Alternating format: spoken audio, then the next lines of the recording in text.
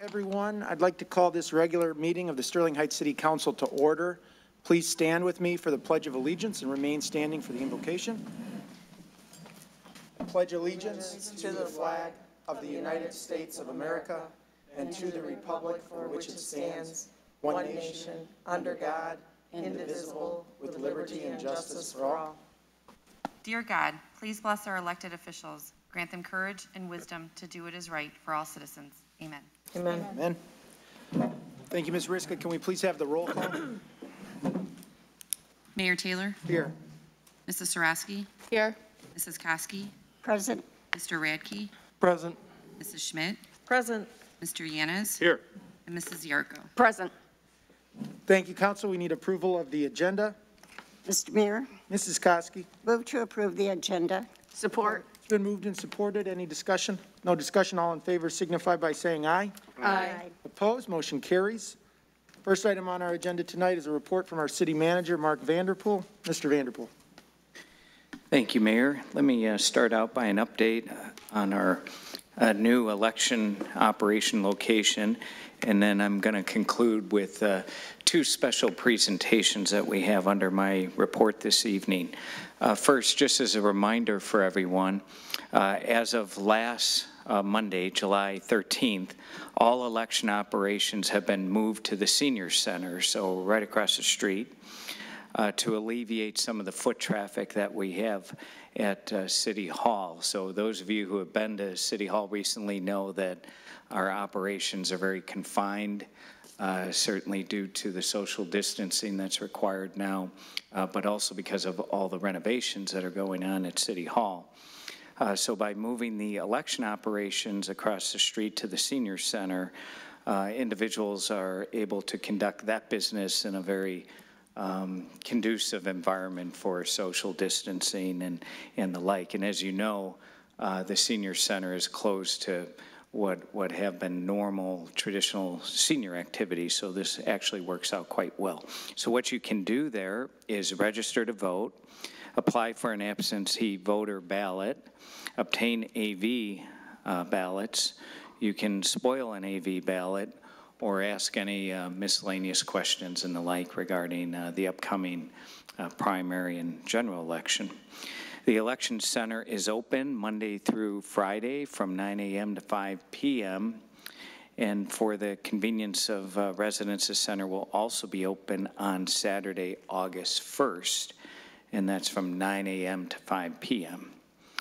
The city clerk's main office at City Hall will continue to conduct all non-election duties such as licensing, death certificates, FOIA requests, notary services, board and commission applications, and more. So uh, please be reminded of that uh, change in operations. And I'm really excited to talk about this uh, next topic. It comes under the uh, banner of our Sterling Heights Initiative for Neighborhood Excellence, known as SHINE. As many of you know, we've had uh, many activities that, that have been implemented or occur under SHINE, including our SHINE Cleanup Day. In fact, we just had one this past Saturday and had a great turnout. Normally, we have them in the spring and the fall, but because of COVID, we had to move it to summer. It's a great program where uh, volunteers come out and help those who are just not able to maintain their homes for one reason or another uh, do that work. It's just a wonderful program. And that program, along with our normal code enforcement efforts, uh, really helps to keep our neighborhoods in good condition and property values strong, which is obviously very important. And what we've been working on over the last year or so is our Safe Homes Task Force. And we're going to hear from two individuals tonight, uh, Megan Ahern and Mike Vyazenko, to talk about this program. But again, it fits nicely under our Action with the Shine program because as you're going to hear, this is a major problem uh, that communities across the nation are facing. And in Sterling Heights, we've come up with a, um, a method and action plan to deal with it very proactively. So, Mayor, I'd like to uh, start out by introduce, introducing our Special Projects Coordinator, Megan Ahern, who has spent a lot of time leading this effort along with Mike Vyazenko and our city attorney and others.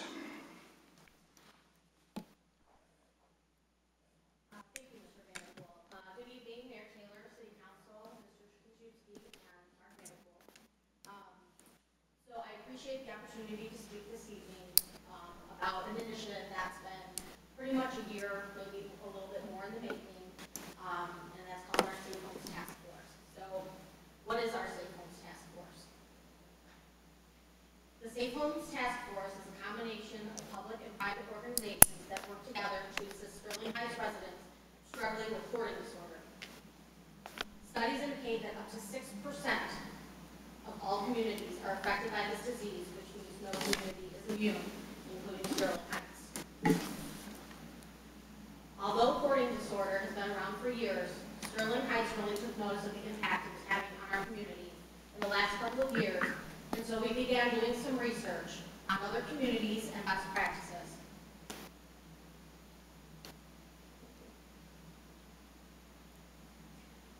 After researching, I'm sorry, after reaching out to several different groups, we were able to take our internal group to sit down in on a few of these meetings, um, one located in Grand Rapids and one located in Saginaw. We also received a plethora of information from these groups, um, as well as from Washington County as well.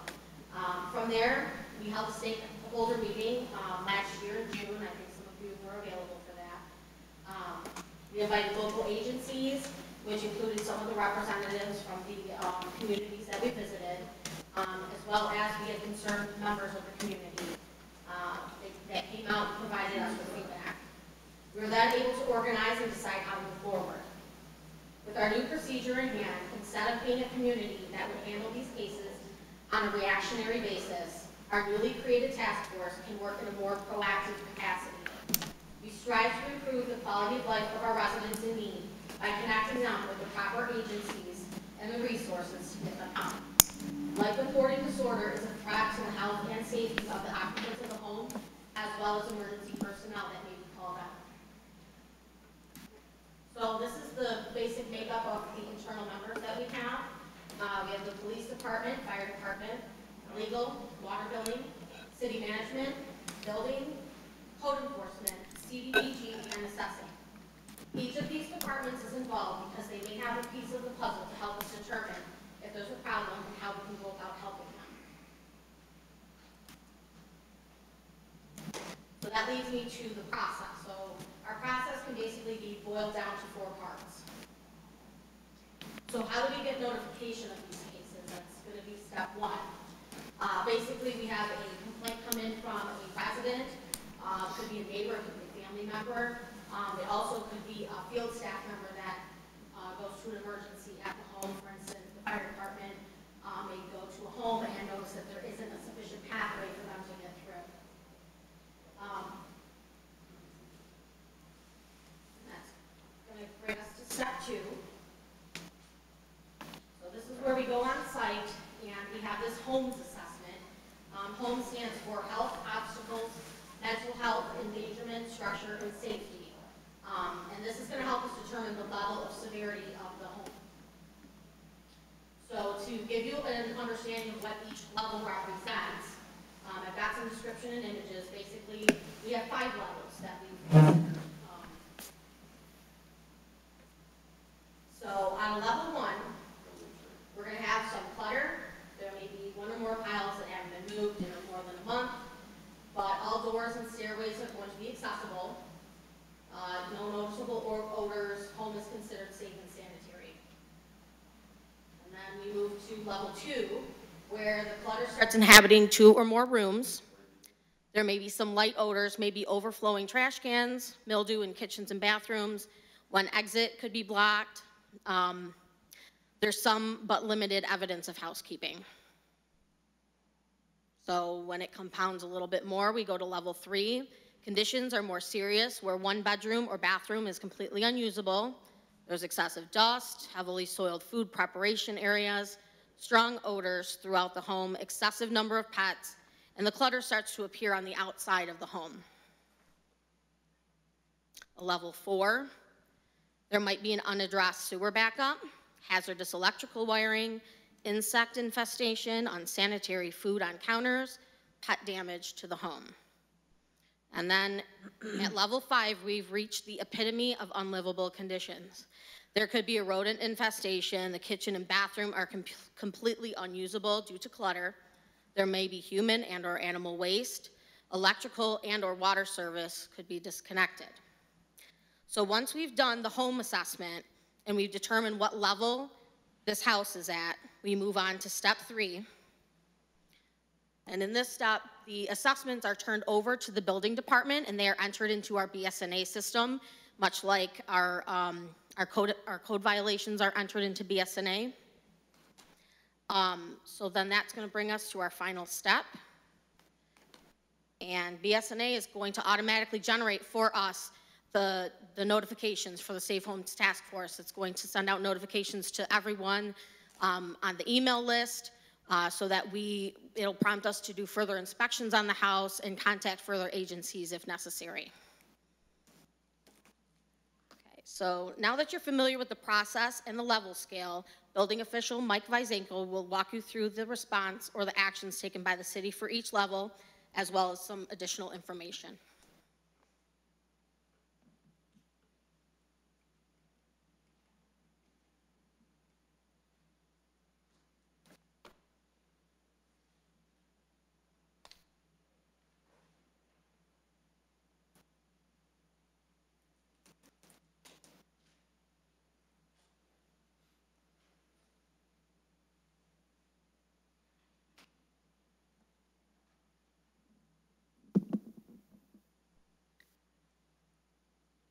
Good evening, Mayor, City Council, Mr. Vanderpool, Mr. Kaszubski. With the creation of Safe Homes Task Force, there was also a need to develop a process to respond to complaints when received. We began with creating a way to track these cases with the ability to schedule follow-up inspections. Since we already have a permit tracking system in place, we were able to work with the software company and generate a new style permit. This makes, this, this makes it happen at no cost. After participating in meetings hosted, excuse me, by other organizations throughout the state, we felt it would be best to follow similar processes already in place, but tailored to our community. In efforts to move, more move to a more consistent format, we took the grading scale from what was 10 categories down to five.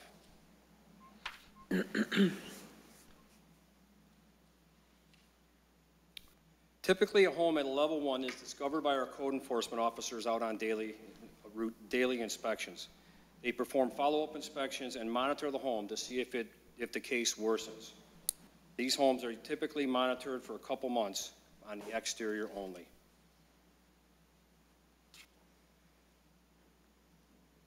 When we discover a home that is at a level two, a resident is mailed information about the condition of their home. This lets them know that there's been a complaint filed and it will be monitored. These documents are mailed directly to the residents. Here is a copy of the risk assessment form that is sent to the resident. We also include a checklist for information identifying common violations that may exist. This lets the, the- this lets them know that the living conditions are becoming concerning.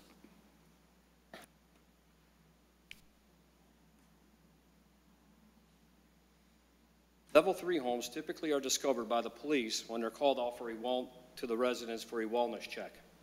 There are times that they are unsure of the conditions and ask for assistance from the building department as well as the fire department. The police file a case with the community health and APS. The home is followed up through the BS&A permit tracking system and monitored by code enforcement for the exterior while the building department works with the residents to get to work on cleaning up the interior. Similar to a level three, a home at level four is discovered by either police or fire. Due, due to the elevated conditions of the home, they need to call in the building department for a complete assessment. Police and fire both contact the Agency for the Aging, the county, as well as APS to get them involved to begin their investigation. When a home is at a level four, they are given 30 days to make progress to make the home safer to live in. We also begin communications at the time of assessment with the resident living in the home and try to reach out to the family members, other family members, to gain extra help for them.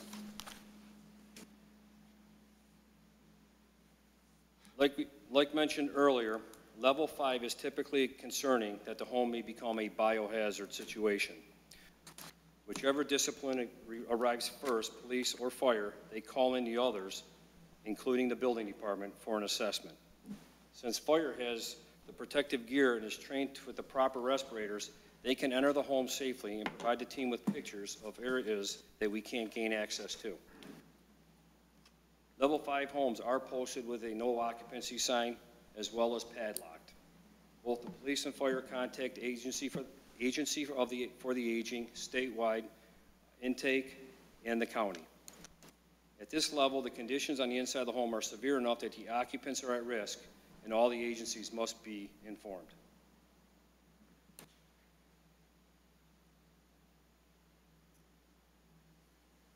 With the program already in place, we had the ability to adjust it as we, as we feel it's needed. One of the latest cases, I actually conducted a virtual inspection of a, of a hoarder situation with assistance from the fire department personnel. And that call came in at 2 o'clock on a Saturday morning. So I was, I was willing to try an innovative way of doing an inspection at that time of the day. That, that project worked out great. We were able to adjust the BS&A permit system so that now I can log that in as a actual virtual inspection instead of just a normal inspection. This helps keep our, our records accurate.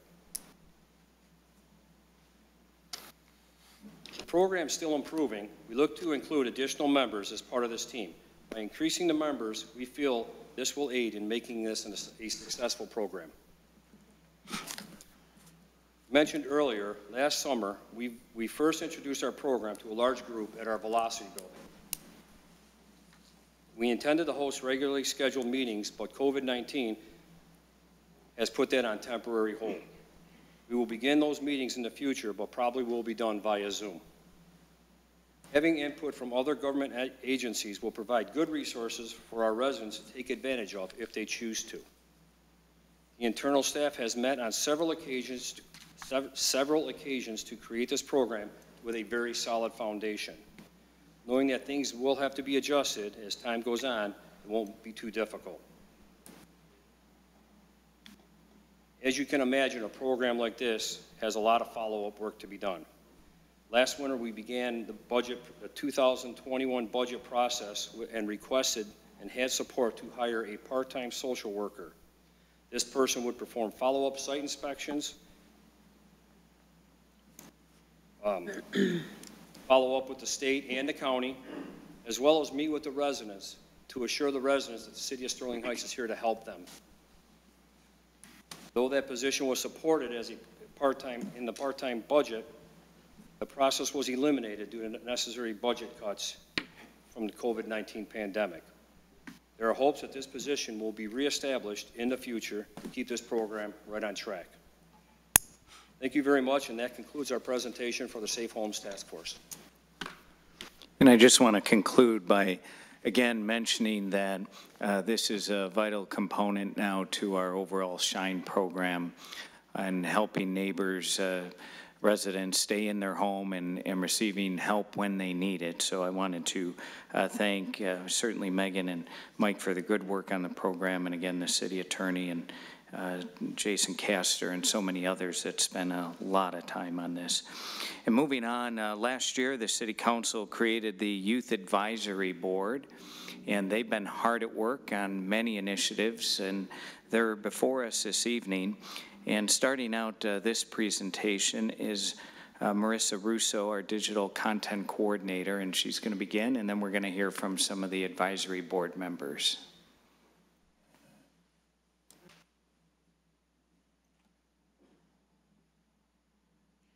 Thank you, Mr. Vanderpool and council and mayor for giving us the opportunity to present tonight.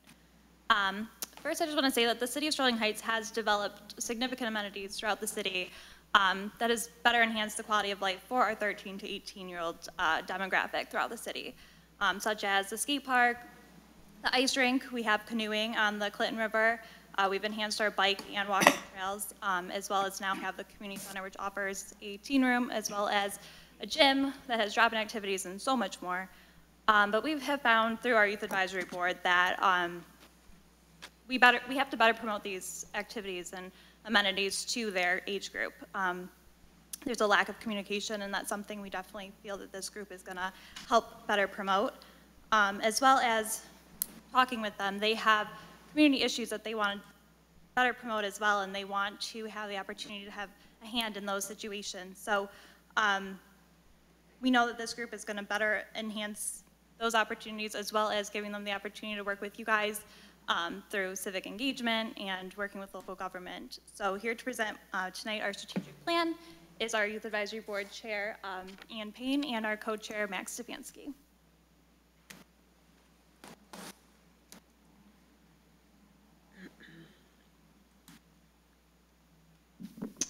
Hello, it's very nice to be here. So, we have a presentation. So for the advisory board, um, our general uh, consensus we've reached, uh, talking among ourselves, is that uh, first, we feel there aren't enough opportunities for civic engagement with uh, the teen community and the local government, and also the activities that do exist, uh, they're just not as well known as we would like them to be. So engagement is relatively low, and we're hoping to change that. Problem statement is to develop and promote programs, services, amenities, events, and civic engagement opportunities that make Sterling Heights a more appealing community for those of 13 and 18 to 18 ages. Uh, Our overall goal is to engage area teens in local government and advocacy for important community issues like sustainability, mental health and diversity, and also inclusion.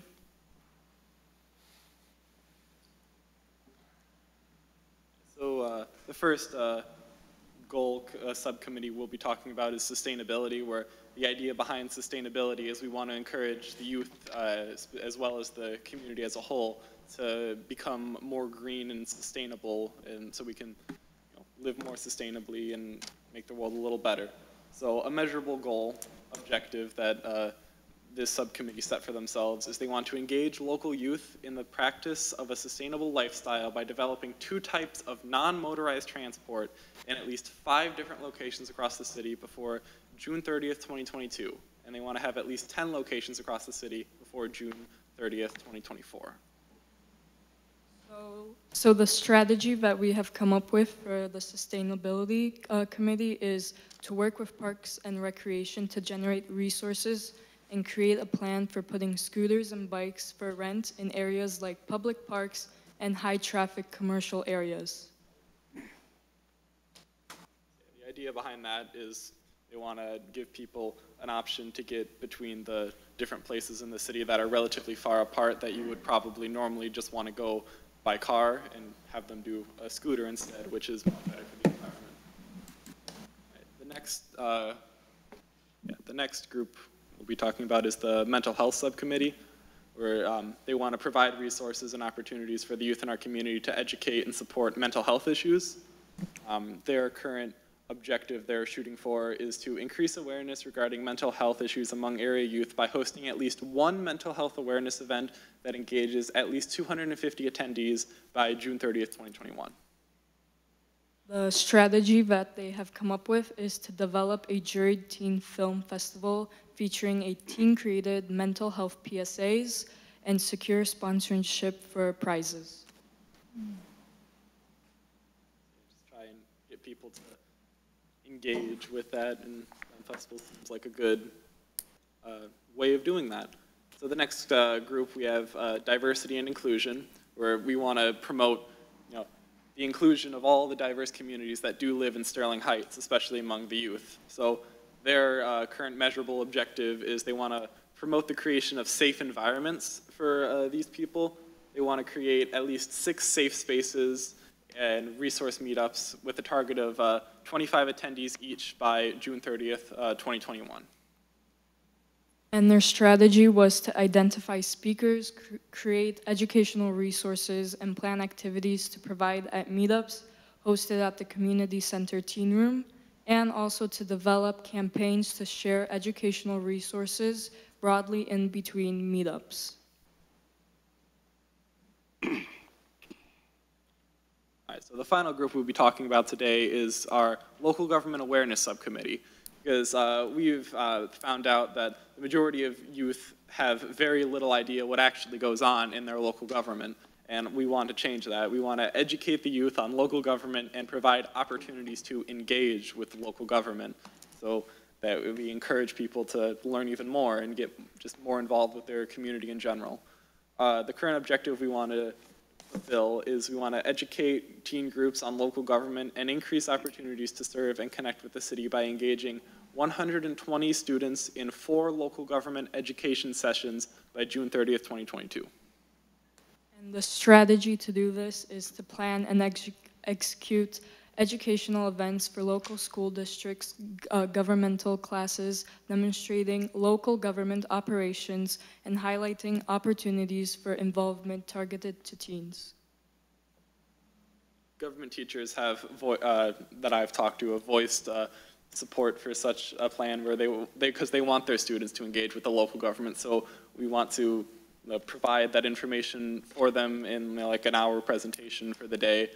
And then uh, we hope that we can create like different events or whatever that we can encourage the students to go to that involve city officials, that get them interested and excited about local government. so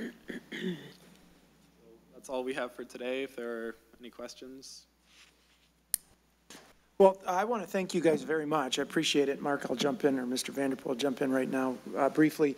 Uh, And thank you for these uh, very thoughtful and um, really thought-provoking um, slides that you've presented and ideas that you've presented, things that frankly, I don't think any of us up here maybe would have thought about, like a a juried uh, film festival. Like, that's a, a- an incredibly good idea that I never would have thought of. And so I guess, uh, since we have you here, uh, and, and frankly, that is the reason why we created this board in the first place, is to solicit those ideas. So I would say, uh, without any objection, Mr. Vanderpool, I'll open it up to my colleagues uh, for any questions or thoughts or comments uh, while we have these uh, two members of the Teen Advisory Board here.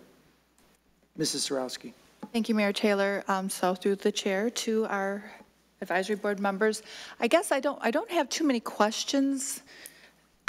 Well, I have a couple, sorry. So How many, how many members do you have right now? Um, I think about a dozen or so. Okay, that's a good number. Uh, that's- We're, that's, you know, of course, we would like to have more. We were, there's 17 that we're hoping to fill, the five-ish, and then others that may want to just participate. This is, as Mayor Taylor said, this is exactly what we want, because we can think, you know, even us who have, and I myself and some of the others here, have older children, you know, some of us have younger children, and we think we might know what works, but we, we probably don't. And we need to have your involvement and to, to really, it, it is very thought-provoking, it is very insightful. Your, your presentations, your strategies are things we wouldn't have thought of. And the methodology and the measurable um, objectives are very, um, I guess I would like to say adult, but wonderful that you guys have come up with it because it really is something that works, you know, in, in, in the grand scheme of things. So I'm very impressed, excited, and I do think that hopefully with this platform and the start, and I would like to probably encourage our city TV group and our city uh, uh, administration to find a way to put this presentation out to the, the, on, on whatever media that we can use to, to help encourage other teens to see what they've got, because the- kids don't always, or people don't always, even adults, don't want to join something if they don't really understand what it's all about. Now this gives them something to focus on, different groups to become involved with, so very good. So they- thank you very much. I would like to say, though, with the local government, that is like one of the ways we want to expand, because that is one of the very easy youth-centered ways you can engage with the local government. So uh, with the pandemic, we weren't able to do that this school year, but hopefully in the future, that will be a good tool for us to expand even more and bring in more ideas. Very good. Thank you. Council, anyone else? Mayor Taylor? Mrs. Ziarko. First of all, I want to thank you both for being here today and for all the time that you've put into this presentation. And surely I would like a copy of your presentation. But, um, you know, there are some topics that you brought up to us that on an adult level, we look at one way. But finding out that it's equally as important or more important to you um, means something. So it means that we're, you know, working in the right direction, that we can work together. Um, I, I have to say that the one part um, that really struck me today is how important you feel mental health is. And that is at any age. So, and, and the fact that you already are aware of the need to help people um, in that area, it, I, I can't thank you enough for bringing that up to us tonight.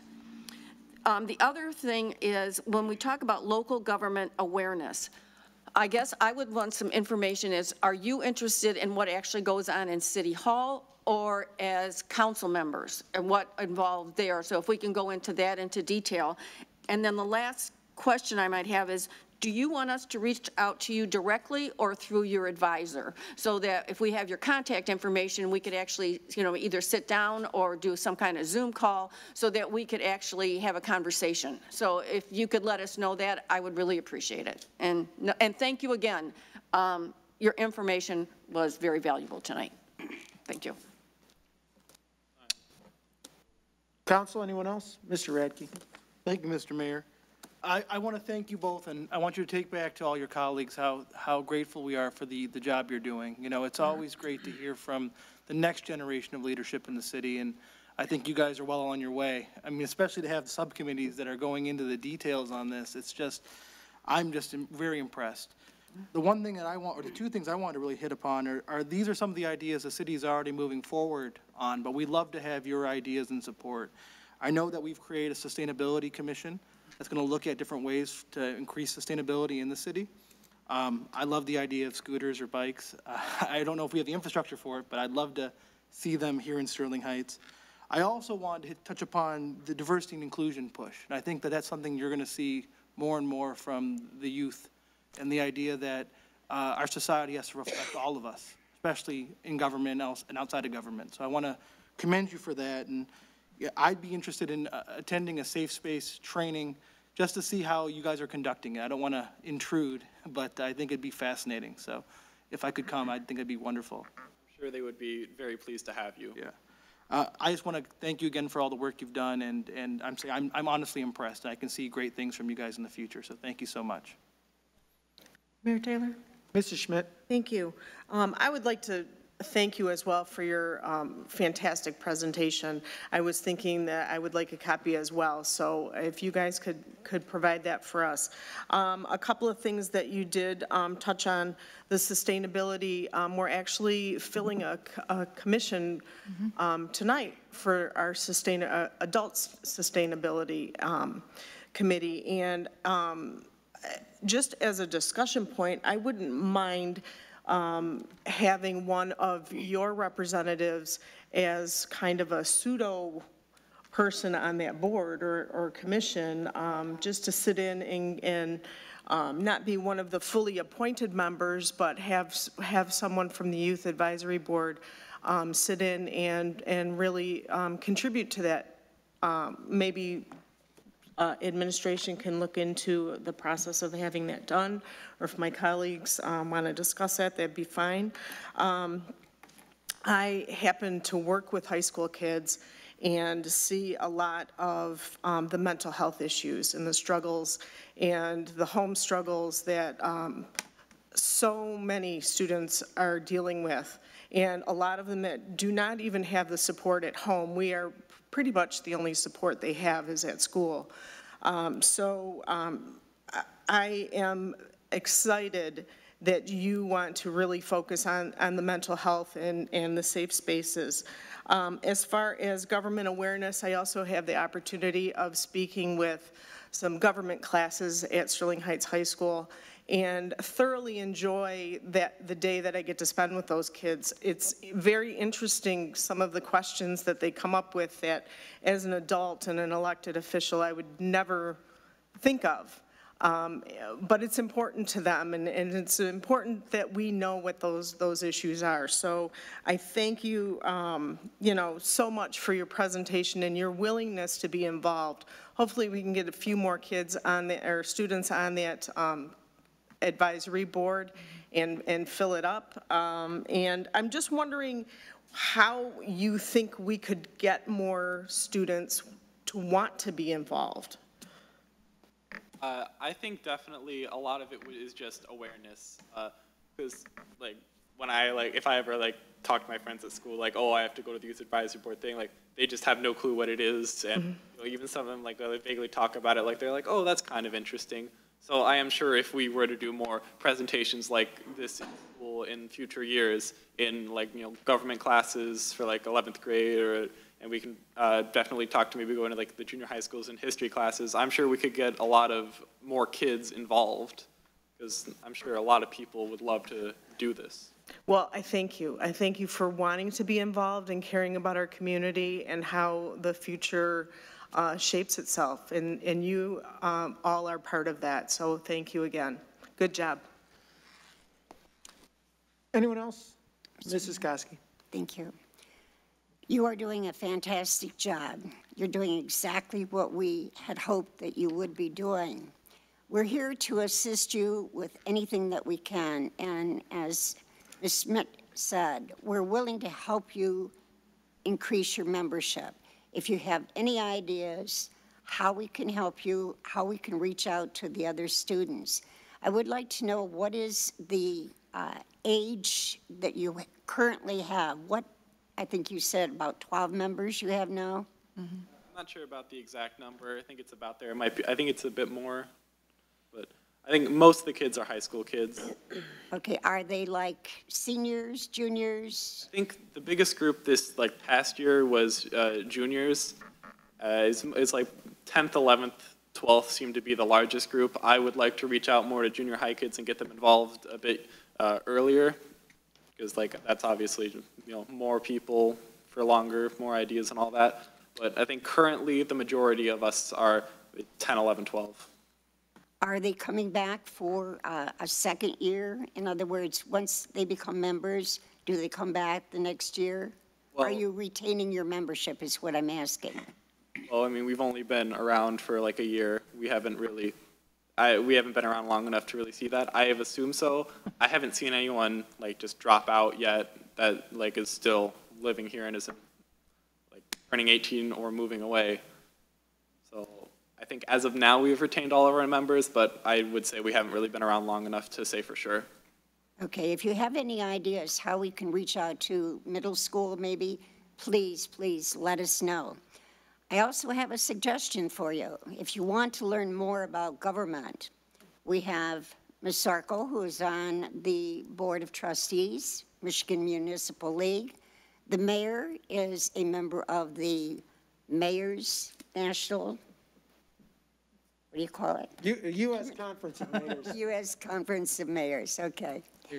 And I'm sure that they would love to give you guidance as to what's going on in those committees. And I think you would enjoy it. You get a, another aspect of uh, local government. So keep up the good work. We're here to help you with whatever you need. Thank you. Yes, and unfortunately, there was going to be a, uh, the U.S. Conference of Mayors has a youth involvement task force that was planning on meeting this past weekend in Portland. Um, Of course, there's a lot going on in Portland right now, and, and obviously, there's no opportunity to do um, in-person meetings like we had hoped at the beginning of the year. But uh, there is, there are a lot of opportunities um, that, uh, that, that organization presents for, uh, for youth involvement, and um, so we'll, we'll be in touch more about that. I think that, anyone else on- this? So, again, thank you very much. We appreciate your presentations. We appreciate your leadership on this. Uh, We, we hope to, to have uh, continued uh, dialogue with you and new ideas like this, and look forward to implementing uh, all these uh, ideas. So thank you again. Mr. Vanderpool? Mayor, just in closing, I wanted to thank Mr. Payne Mr. Stefanski for their outstanding presentation. I also wanted to recognize, uh, once again, Marissa Russo for her good work and our Community Relations Director, Melanie Davis, for their outstanding work uh, coordinating efforts uh, with Youth Youth Advisory Board. And Mayor, that concludes my report this evening. Thank you. Okay, thank you very much, Mr. Vanderpool. Uh, Thank you both again. The next item on our agenda is a presentation. We have two presentations tonight uh, of the Nice Neighbor Award. The first uh, presentation of the Nice Neighbor Award is going to be uh, presented by our Community Relations Director, Melanie Davis. Ms. Davis. Thank you, Mayor and members of council, members of city management. As we are all aware, uh, census completion is critical to funding a very important programs that our residents, community programs that our residents use every day. And as a part of our 2020 census campaign that we have been working on, we recruited several census ambassadors who had agreed at the time to do things like hang door tag reminders and host education events and completion events throughout the city. Well, when COVID hit, we were no longer able to engage in those activities. So the Census Bureau actually, they quickly pivoted and they provided us an option to do something called a virtual phone bank. And what the virtual phone bank did was it allowed our volunteers to make reminder phone calls to people, our residents, about uh, filling out their census form. And we were really excited about that opportunity because while traditional marketing and advertising and social media are great ways to reach out to people and encourage them to complete their census, we really felt that it was that personal, direct, one-on-one touch that was the best way to get people to fill out their census and answer any questions they might have about the process. So we were really excited about that opportunity. Um, and also, you know, a phone call can't be scrolled past, and it's difficult to miss a phone call amidst lots of other marketing messages that are floating around out there. So we thought that was a really good program that the Census Bureau offered us. So that being said, I'd like to formally recognize three of our volunteers who not only raised their hands to be census ambassadors, but also who agreed when we had to pivot to make some of those census reminder calls through our virtual phone bank. And collectively to date, those three volunteers have made nearly 1,800 phone calls to residents reminding them to fill out their Census 2020 form. And this work was particularly important when uh, the Census Bureau's door knocking enumerators were delayed uh, with the COVID, the pandemic. In addition, the efforts of these three individuals resulted in the city of Sterling Heights literally blowing away every other municipality that was participating in that virtual phone bank. I mean, there was no, no comparison at all. So tonight, I ask you all to join me in thanking Joelle Neal, Janan Arabu, and Nancy Saban and honoring them tonight with a Nice Neighbor Award for, once again, helping make the city of Sterling Heights second to none. And I know Nancy couldn't be here, but I do believe Joelle and Janan are here. If they could come up, we'll get you your, your Nice Neighbor Awards.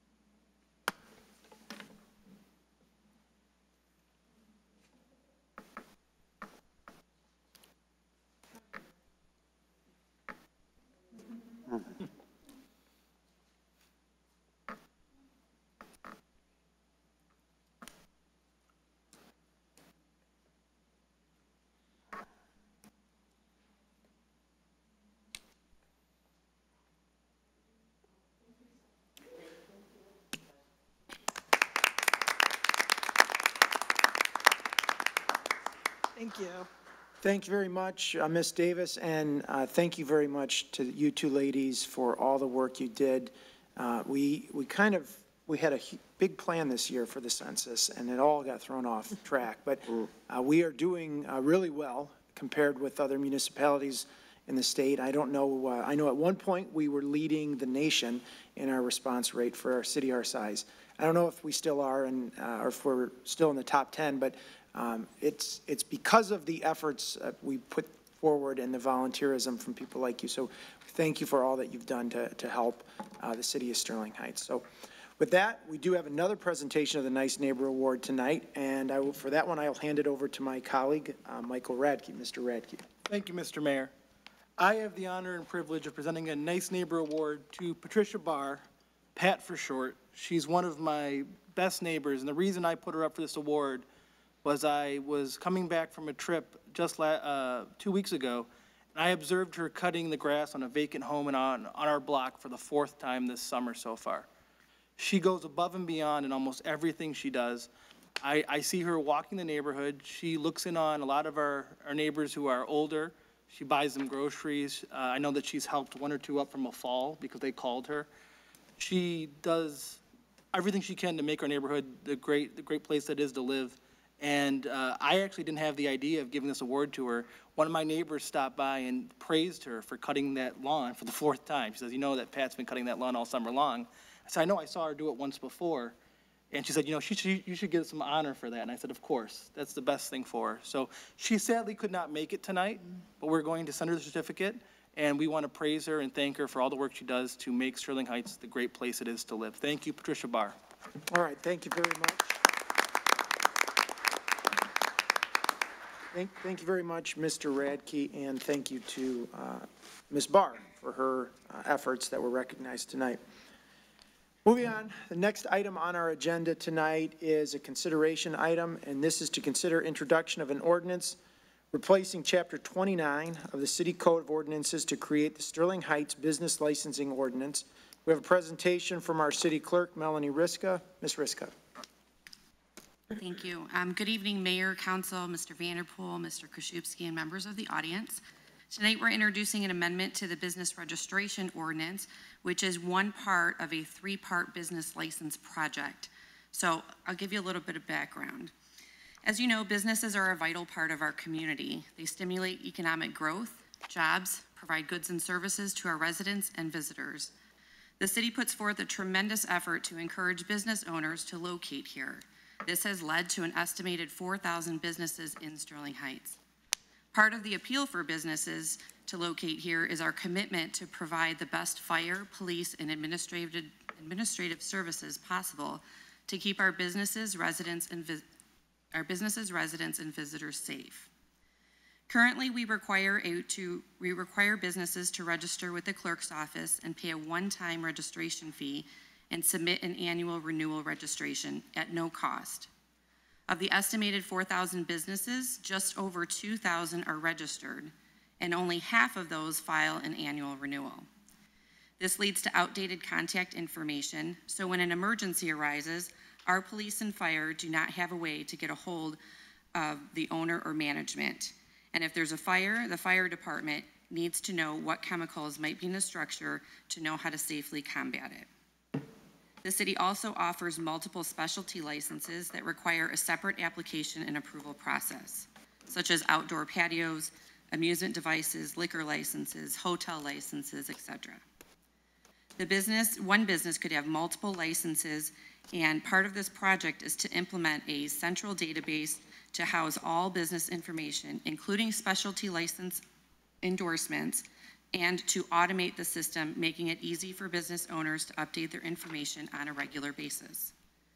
To achieve this goal, city administration has been working diligently to find a solution to encourage businesses to be licensed, give the community and city departments the most up-to-date business information, and streamline the current process, which is almost 100% manual. We have identified a three-part solution, and they are as follows. One, revise the current business ordinance to create an annual business license requirement. Two, implement software to house data that can be accessed across multiple departments and can accommodate multiple license types. And three, develop an online automation portal that makes it easy for businesses to apply and pay for a license online. First, before you tonight for your consideration is a proposed business license ordinance. This ordinance incorporates best practices based on research of communities that issue general business licenses. Second, council recently approved the purchase of BS&A financial software package that also includes the business license module. This will house all business and specialty license information. This data will be shared between departments, eliminating the current division of information on multiple platforms. And finally, on the consent agenda tonight, contingent on the introduction and ultimate approval of the proposed ordinance, administration has worked with Ashling Partners to develop the K2 digital process automation. This is a completely customized application that will allow business owners to log onto our website to apply for any business license or type, um, including specialty license endorsements. Businesses will be able to upload necessary documentation and pay fees online. The second component of the automation process is an addition to the BS&A software to allow the import and export of information from the portal um, when businesses go to update their information. This ordinance um, that is before you tonight, coupled with the automation software, will streamline the process and make it easy for businesses to apply for and renew a license. Additionally, requiring a business license and using this web-based software will allow police and fire and other departments to access important information from an online portal and to better serve the residents and businesses of the city. Some benefits to this new program. Businesses can apply, upload documents, and pay online for a general license and any, any necessary specialty licenses. So there's no more taking time out of their busy day to come down to City Hall and apply in person or have a snail mail um, documents to them. Businesses can update their information at any time. So whenever there's a change in management, they can easily go onto our online portal and be able to update the appropriate emergency contact information. Or if the nature of their business changes, they can do that as well. Um, police and fire will have the most up-to-date emergency and alarm contact information at their fingertips, helping businesses protect their assets. Many times we get reports of a business that might have a broken window or the alarm goes off and they have, um, our police department has a difficult time getting a hold of a business owner to uh, notify them um, for them to be able to come and make sure that, you know, all their assets are protected. They're also when we start to obtain um, business license information, we will have an opportunity or a method by which we can easily disperse emergency information to either select businesses in a certain area or all businesses as a whole via email. So if you think about the COVID pandemic, we would have easily been able to have send an email out to businesses letting them know of any um, COVID-related information, or if there are if there's road construction come on, coming up, we will be able to notify businesses prior to that road construction so that they can prepare, um, you know, for their business. And then um, also, it's free advertising. So with this online portal, we will be able to develop a, um, a list of businesses that we can provide to the public, and that would have the business's name, the type of business, their website, their phone number, and those sorts of things that our public or our residents may want. Um, so administration is proposing an annual license fee of $75 to offset the cost of the program. However, in light of the recent pandemic and because many businesses are um, still struggling, the, we are proposing that the 2021 uh, fees be waived for the, that general business license. Um, that concludes my presentation. I'm available to answer any questions about the program, and we also have our Assistant City Attorney, Don Denault, in the audience that can answer or ask, you can ask questions about the ordinance. Thank you very much, Ms. Ryska. Is there anyone in the audience who would like to speak on this item? If not, council, we need a motion. Mayor Taylor? Mrs. Sierawski. Resolved to introduce the ordinance replacing Chapter 29 of the City Code of Ordinances to create the Sterling Heights Business Licensing Ordinance. Support. It's been moved and supported. Any discussion? Ms. Sierawski? Um, I, actually, I don't have any questions. I believe Ms. Ryska did such a, she did a very good job explaining what this really needs, the needs and the reasons and the application of it, so I'm fine with what we've had. Thank you. Okay. Mrs. Ziarko? Um, yes, thank you, Mayor Taylor. Um, I like the idea, well, first of all, through the chair to Mr. Donald. Um, Is he, I can't see that. He's over behind you. I can't see Meyer. Okay. Uh, My question is, is it, um, because of the fee, we're leaving the fee in the ordinance, but we're already waiving it for the first year? And I just want to make sure it is, does it have to be listed anywhere that besides in uh, what we're voting on tonight, that it has, um, that there is no cost for that first year? So that's only my, that's my question, is because if the ordinance says it's a $75 fee, then how do we put in place that it's been waived for that first year? Because I have to agree with you, it should be waived, at least for the first year, and we'll see how people are coming out of this. Um, That's my question. Mr. Denault? Absolutely. Thank you. Good evening, everyone. Um, The ordinance itself doesn't actually set a fee. It just says that the fee will be established by city council in the annual appropriation ordinance. So uh, as we go forward with any adjustments to that ordinance this current fiscal year, uh, it can be left out or it could be made clear in the ordinance that there will be no fee for the licensing this year and the fee will begin in 2022. Thank you. Okay, and the other thing is, the other comment I have is, I like the fact that it's going to be like a directory for um, all of the businesses that are in the city, and I think in what people pay for advertising, to advertise their business at $75 a year, it would be a bargain to have um, this print, I would hope, a printed directory as well as something that's online. So I think that's a really good idea, so I'm definitely in support of this um, new ordinance. Mrs. Koski? Thank you. Mr. Denault, don't go away, please. I'm trying to remember, didn't we have this um, business registration for a number of years, and it was very difficult to get the, uh, the information? Am I remembering correctly? You are. I remember the fee being like $25. Is there a reason why 75 would be suggested? I would partially defer to Ms. Ryska. My uh, understanding, of course, is that the program has costs. Uh, The new licensing program has software costs and licensing fees uh, for the city to develop the software. So a slight increase is being proposed. I don't think it's 25, though. Is it 50? It's currently 50. So the increase is only a $25 increase. Okay, well, that's, I I'm probably going back prior to that. So it was 25 up to 50, now we're saying 75. Could we possibly base that fee on what the cost of the software is, divided out among the businesses to keep it as fair as we can to, I guess, what I recall was having the lower fee was one of the reasons that we used to get the businesses to register.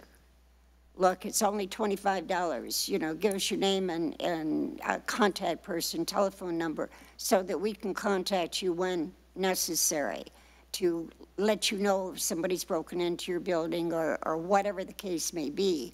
And that lower amount seemed to get more cooperation. So I guess what I'm looking at is cover our costs as close as we can in the future. Thank you. Mayor Taylor? Mrs. Schmidt? Thank you. Through the chair to Mr. Denault. Is there a penalty for companies if they don't register? Uh, There is currently a, a penalty that we, I can't think of a time we've ever actually done anything to enforce it. I believe it's a municipal civil infraction to sort of entice uh, them to get, get on the program. Uh, so It'll be, it'll be similar in the ordinance as far as licensing goes. There will be a penalty in the sense that uh, the business should not be operating without its general business license, uh, just for safety reasons, um, first responder reasons, uh, city database reasons. Um, But I believe we still left it as a municipal civil infraction if, in fact, uh, we need to go to that step. And and again, I can't think of a time we've ever used that. Okay. Um, I do like that it um, helps our first responders to know exactly what they're walking into if um, there is an emergency on site.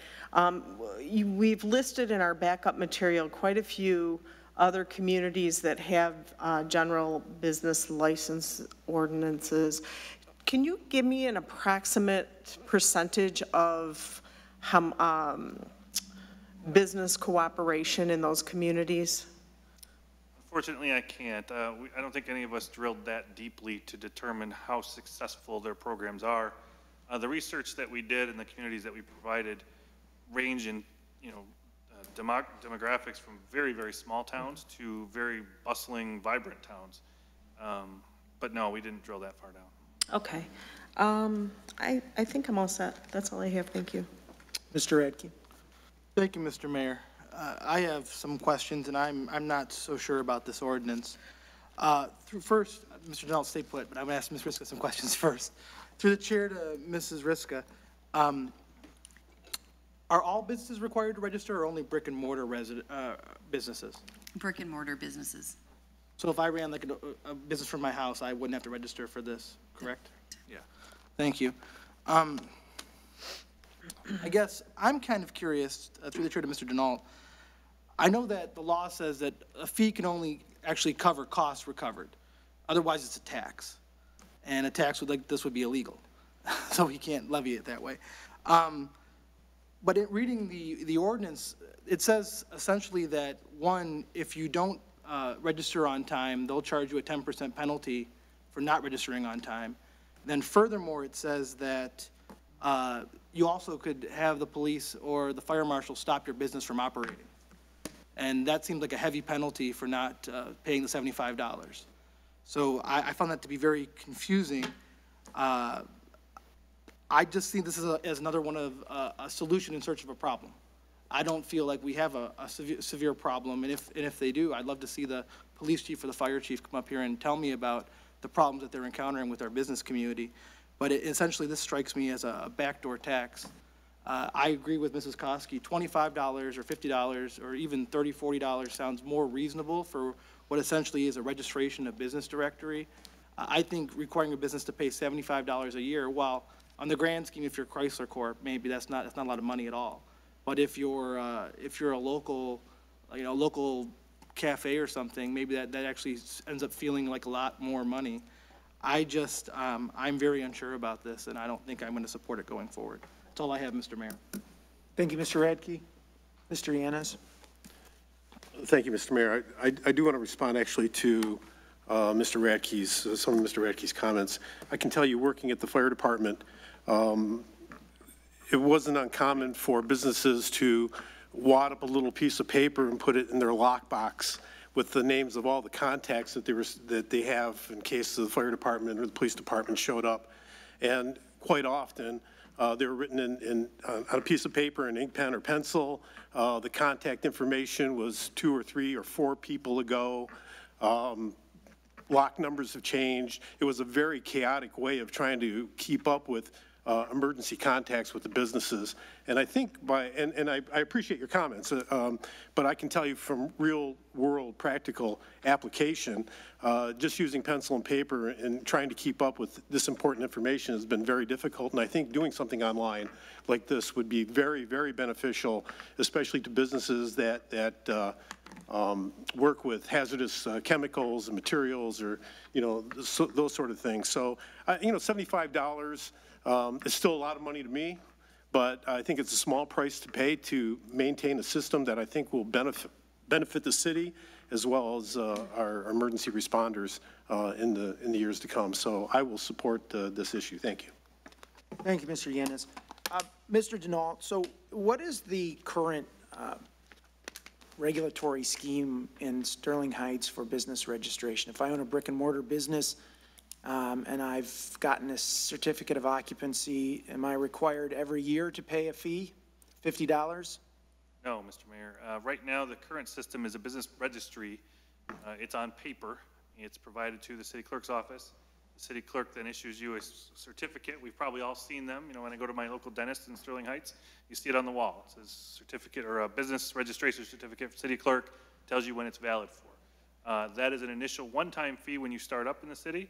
It helps get the database going and it helps them get the records on file.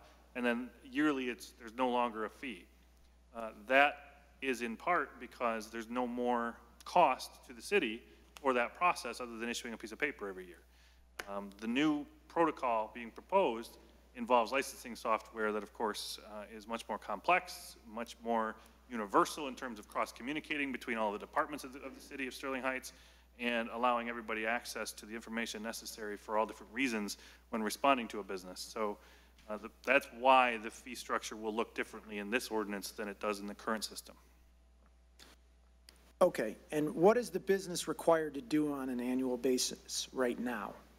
Currently, they get a renewal from the city clerk's office, and they are required to return that to the city clerk and receive their new certificate to put on the wall. Uh, Do you or Ms. Ryska have any idea what the uh, compliance rate is on that anecdotally, if not, uh, if you don't keep good data on it? Sir, you're asking for the compliance rate for the renewals? Yeah, so like if, if we have a pretty good idea of how many businesses are out there, um, what, what would you say the compliance rate is in terms of businesses sending back that annual uh, registration? So we have about fifty percent, we, we suspect about fifty percent of our businesses complete the registration first time. And of that fifty percent, only fifty percent of that, so twenty-five percent overall actually file the renewal. And that is after second and third notices are sent. Okay. And when we're talking about the benefits, you know, so one of the things that I hesitate with is we're talking about all the benefits that businesses will have by doing this. You know, better information for the first responders, you know, better information on road closures and, and, you know, blackouts and things like that. But the businesses are already not finding it to be useful to them because 75% of them don't care. Um, So I'm just always kind of leery of the government coming in and telling businesses, this is for your own benefit, trust us, we know what's best for you, and by the way, uh, we'll take $75 a year for, you know, for providing you this benefit that you didn't ask for. Um, So this is also a little bit awkward because the proposal is, um, is on the agenda later on, and a portion that we're not really able to talk about. Um,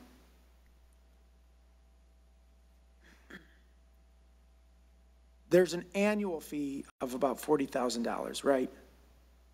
So that's what you suspect that the annual fee will be for this software going forward, Ms. Ryska? Yes. What other additional fees will there be, um, or cost to the city to maintain the software or to, um, to update it? I mean, there, are there going to be manpower costs to the city? Yes, there are going to be manpower costs. We expect or hope to have business surveyors go out, um, you know, maybe on an annual basis, maybe on a biannual basis, to survey the, the properties and make sure that we have all of the compliance. Um, Additionally, I know we talked about our current registration. We have a one-time fee, and then there is not a renewal fee because there's not a, a, a cost to that.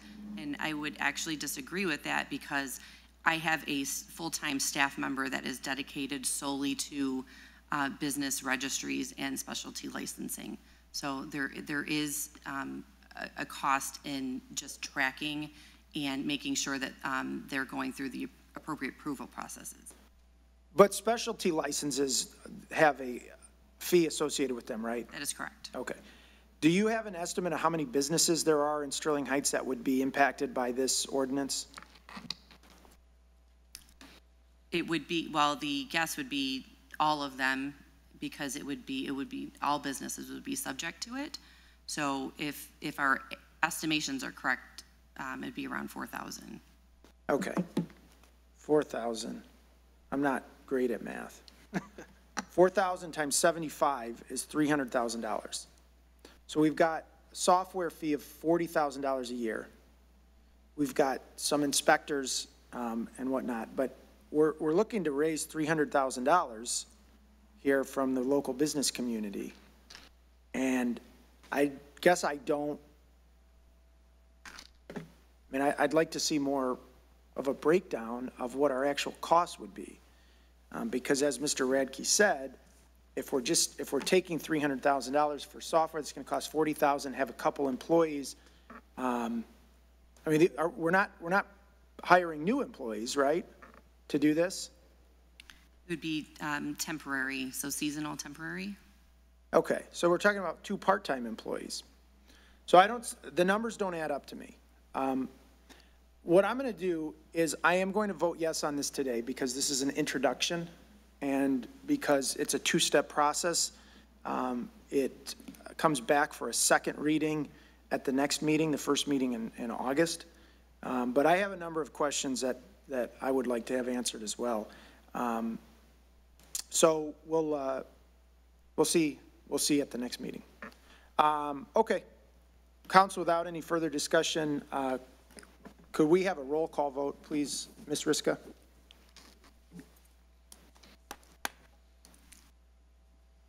Mayor Taylor? Yes. Mr. Yanez? Yes. Mrs. Ziarko? Yes. Mrs. Koski? Yes. Mr. Radtke? No. Mrs. Schmidt? Yes. Mrs. Sierawski? Yes. Motion carries six one. Uh, Thank you, Ms. Ryska.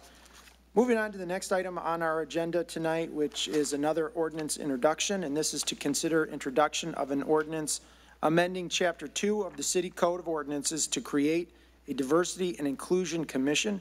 We have a presentation from our Community Relations Director Melanie Davis and our Assistant City Attorney Don Denault. Ms. Davis. Thank you, Mayor, and good evening again. Uh, Back in 1990, the city's Ethnic Community Issues Advisory Committee was formed with a goal of improving communication and promoting understanding among different ethnic, age, and socioeconomic groups within the city.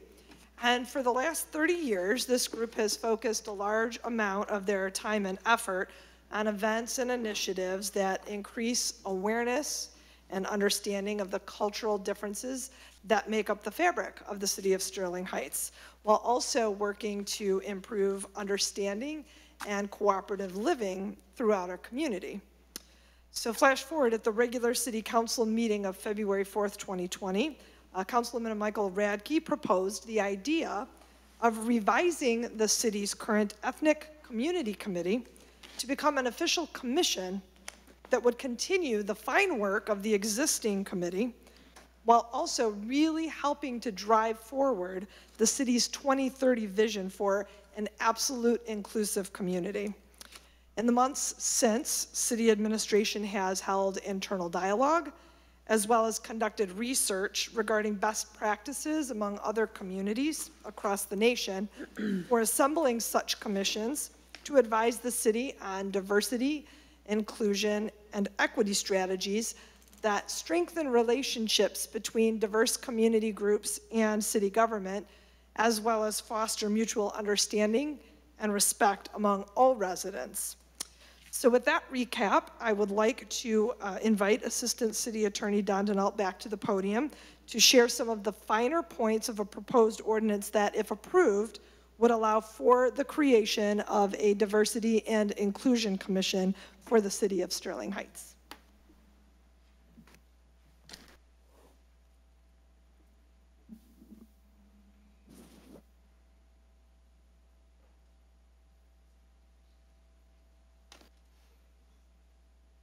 Hello again, everyone. Um, This is a little bit more of a fun topic in the sense that it's a really good initiative um, that administration is working on right now for your consideration this evening. Um, The idea of a Diversity and Inclusion Commission is remarkably, as we dug into this, um, not as common as you might think yet in 2020. Uh, We were able to find a number of examples nationally about, uh, of similar types of boards and commissions that exist that fit the mold of what we think uh, City Council is looking for in terms of evolving our current committee, uh, which, by the way, fun bit of trivia, when it was created, it was entitled the Ethnic Community Issues Advisory Committee. And that was in 1990 by resolution of City Council. It's been known as the Ethnic Advisory Committee or the Ethnic Advisory uh, Community, Ethnic Community Advisory Committee, I believe. Uh, but that is its formal name, Ethics, Ethnic Community Issues Advisory Committee. And its goal, when it was created, was uh, harmonious relationships and open communication with the community. And now, as we bring this ordinance to you to um, evolve this committee into a formal commission that would be etched in the ordinance books, like many of our other commissions, youth advisory and sustainability and historic. Um, the idea behind that formality would be to expand its membership and expand its scope and reach. So instead of being strictly dedicated now to the celebration of culture and communication and celebration of that, uh, its reach and its scope would extend into diversity, inclusion, ethnicity, and all human relations. And that's really the common theme that we found when we did find uh, commissions like this that exist throughout the nation, uh, from California to Oregon to New Jersey to Wisconsin, Illinois, Washington, uh, even in Missouri, we found a, a commission uh, called the Diversity and Inclusion Task Force uh, that was created, we believe, way back in 1970, and it's been around that long. Um, and all of them, I think the, the theme behind all of them in their mission statements is to foster mutual understanding and respect among all groups within the city. So with that messaging in mind, uh, the ordinance proposed for introduction this evening, and uh, again, consistent with the city's Visioning 2030 plan uh, that is centered on inclusivity, um, the goal of the new ordinance would be to expand the committee into a full-time, a full-blown commission, still an advisory body, uh, but established by ordinance, and expand its membership from its current 11 to 15. Uh, The idea being in the ordinance that the current 11 would retain their positions, should they desire to keep them, at least for now, uh, because their terms are continuing, and also allow for four new members to be appointed uh, to grow this particular body. Um, The ordinance would establish officer positions and responsibilities, the usual types of Roberts Rules things that we would expect from our commissions and uh, boards. Uh, The Community Relations Director would be assigned as an advisor and staff liaison, which is already currently the approach and practice um, for this particular committee. Uh, The ordinance would set a goal of meeting at least once a month and presenting to the city council once a year, much like we do with the Youth- Youth Advisory Board as well. Um, Some of its, I suppose, responsibilities, if you will, uh, it would act in an advisory capacity and make recommendations to the city council and city manager on all matters pertaining to diversity, inclusion, culture, ethnicity, and human relations. Uh, It would research initiatives outside of the city to determine how other communities are addressing diversity and inclusion-related issues. It'll identify and assist with and advocate for public interest projects that it deems important to provide a, bene- a public benefit for future generations on these topics. And the commission will assist city staff with engagement on the city's diverse population and offer recommendations for diversity and inclusion uh, types of programming throughout the community. Um, as I mentioned, it's not a unique concept nationwide, but it is relatively difficult to find these. So uh, we, we believe we've taken uh, the best approaches throughout the nation as well as in Michigan and combined those to fit uh, what Sterling Heights is and means. And with that, um, we would propose that the ordinance for introduction uh, would allow for this commission to move forward in a way that goes farther than culture, goes farther than ethnicity into inclusion uh, for all city residents. And with that, we're here for any questions. Okay, thank you very much, Mr. Denault. Is there anyone in the audience who'd like to speak on this item? Mr. Jefferson?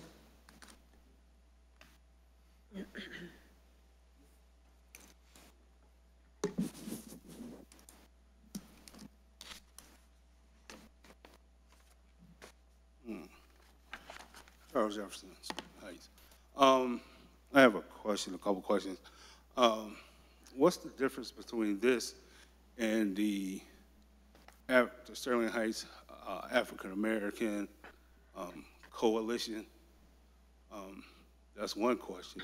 Number two, is this a two-step process or is this going to be the one-step process? And number three, um, how many cultures do we, or ethnicities do we have here in Sterling Heights? And how do we make sure they're all covered um, by this commission? Because he said it's only 15 spots, but I, I gotta pretty well say there's probably way more than 15 um, ethnicities here in Sterling Heights, plus the, the gays, the lesbians, bisexual, transgender people, and it, it's got to be a host of, of people. Um, is there a new um, term limit for these individuals? Um, as far as them being on the commission, uh, is this a mayor, going to be a mayoral appointment, or is this going to be a council appointment? There's, there's a number of questions that, that need to be asked and, and answered before this, this goes on. Um, I think that's just about it. Thank you. All right, thank you, Mr. Jefferson. Is there anyone else? Ms. Catula?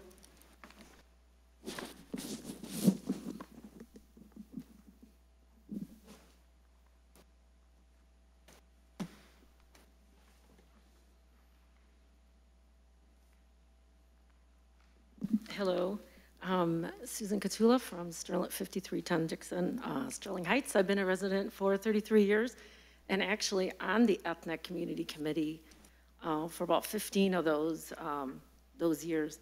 And as I'm, as I, as we sat in, in, our February meeting and we were hearing about changing the name of the, um, of the group, everyone kind of thought, well, I mean, is it because we're not very inclusive? Uh, Is it because we're not very diverse? And uh, we are diverse, I think. Um, We've had openings, we've had people apply, we've uh, had people join the group. I actually thought Sterling Heights, and I believe Sterling Heights is like very progressive by having an ethnic community committee. And there's such a big difference between race and ethnicity, right? And, and, and this committee, and, and sometimes people don't understand that uh, truly. Um, I know um, he just asked how many different ethnic groups we have. I can't really say how many at Sterling Heights, but I sit on the Board of Education and Warren Consolidated Schools, and our high school alone, Sterling Heights High School alone, has over 60 different languages that are the first language of their students. So you can just imagine how ethnic we are in the city, right? So the idea of race is color, right? Color of your skin. So if I'm on this committee, I'd probably consider myself white, right? If we're thinking in that manner. Um, but to be ethnic is so, it's, it's very hard to explain to a person that really doesn't, can't um, separate those two, you know, race and ethnicity. And I was so proud of the city to have an ethnic community committee. And by saying we are, you know, to be on a committee and uh, to be so, um, progressive with inviting everyone and being so diverse. Uh, I think in one way, kind of I explain, especially when I speak to um, students, when I'm trying to explain the difference between ethnicity and race, is I tell a little story about Coca-Cola. There was a salesman that went to the Middle East and wanted to sell Coca-Cola, and he wasn't really too um, knowledgeable of the ethnic groups in the Middle East. So his manager told him to, well, if you can't speak the language, then use pictures. So he brought out a picture of a gentleman uh, sitting on a beach, passed out, and um, then put out another picture of the gentleman um, drinking a can of Coca-Cola. And in the third picture, he has the gentleman jumping up for joy after he drinks the can of Coke and came back to the United States and told his manager that I failed in the Middle East I couldn't sell. And he said, why? It was, they were the most perfect pictures. And he said, well, if I only knew they read right to left. and so the idea is that you really have to understand your ethnicity and the people that live in your city. And I think by, to me, by changing the name, I felt like our committee wasn't inclusive, and we are very inclusive. And I just wanted to, um, hopefully that I don't know if you're voting on it tonight, but maybe think about it and maybe speak to some of the other members. I came today because I was supporting my colleagues um, on all the uh, census work they did.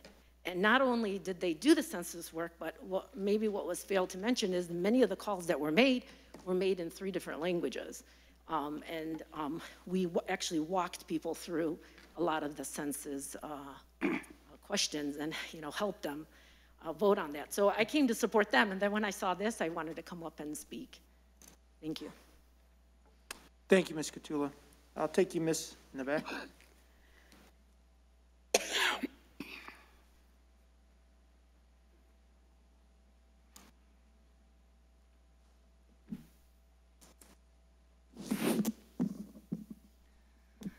Council, Mayor Taylor, thank you. Uh, you guys may remember me from uh, two meetings ago. I just wanted to come up and um, I, I, understand what Mr. Jefferson was asking about the two different committees, but I do think it's important that we have a committee here that right now in this time in our country that is really focused on the needs of the black individuals in our community, of the African American individuals in our community. But we also need to understand that there's a huge community of LGBTQIA individuals living in Sterling Heights. There are people, there are women that experience discrimination. There are people that experience discrimination just because of their age, right? So like there's a lot of different intersectionalities that exist in this community. So that's why having a council or uh, I'm, I'm, sorry, a committee that is focused specifically on race and, and, ethnicity is definitely needed, but we also need some sort of inclusion council that, that looks at all of these issues um, broadly together. So that's why I would say that there's most definitely space for, for both of these um, committees, councils uh, here in Sterling Heights. Thank you. Thank you. Uh, yes, Ms.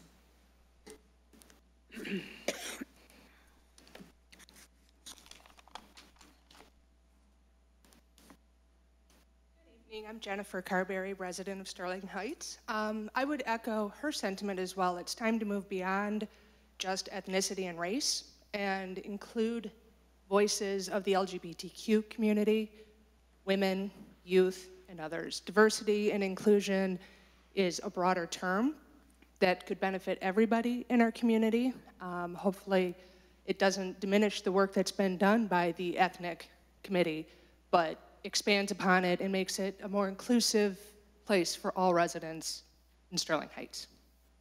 Thank you. Thank you. Anyone else on this item? If not, council, we need a motion. Mr. Mayor. Mr. Radtke. Resolved to introduce the ordinance amending Chapter 2 of the City Code of Ordinances to create a Diversity and Inclusion Commission. Support. It's been moved and supported. Any discussion, Mr. Radtke? Yes, thank you, Mr. Mayor. I'm so happy to see this come back.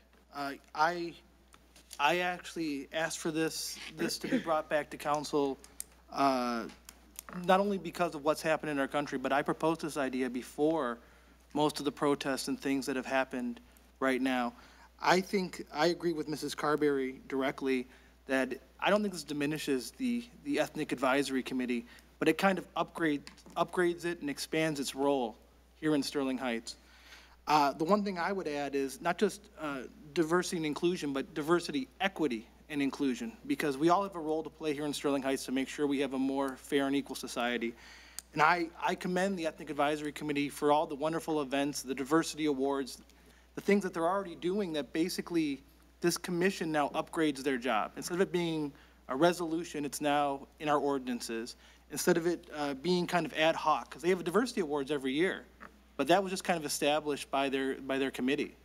Let's, let's really flesh it out and go a little bit further. And I think that this is the, the best way to do it. And I'm, I'm wholeheartedly in favor of this. I believe it's going to be wonderful.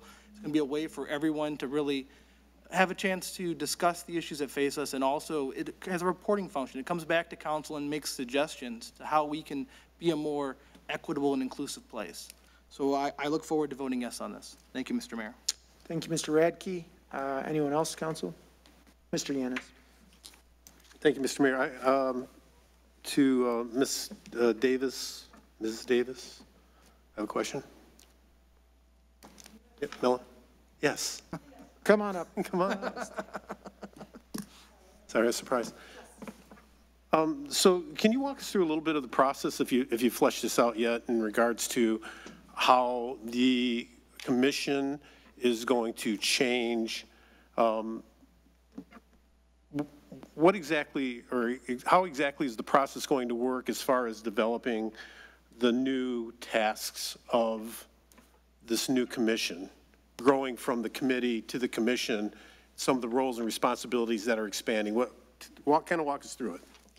Well, I think that I think in general, you know, a lot of that will come out of the existing and new members of the commission based on what they feel that the city should be doing. However, you know, there may be, um, as, as we've talked about this, that making it a diversity and inclusion commission expands their role and adds uh, groups that are not currently maybe represented on the current committee.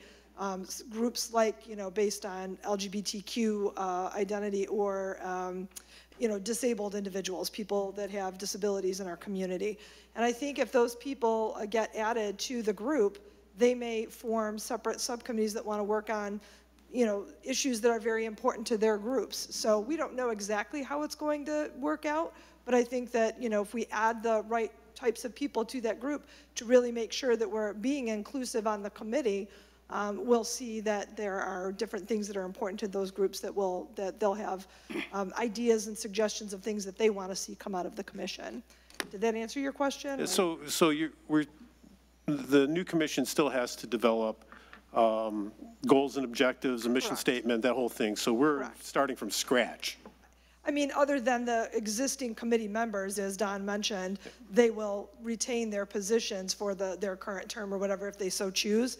But yes, that- I think that as this group comes together, there will be new, they'll probably take the best of what the committee has done in the past, keep that, and then add on based on what they think their goals and objectives should be for the future. Great, thank you very much. Okay, thank you.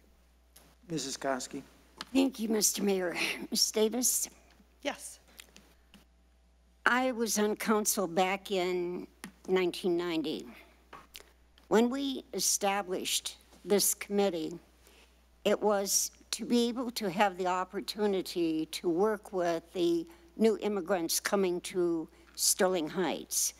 The people that uh, English was their second language, if they even learned it. A lot of them did not speak English at all.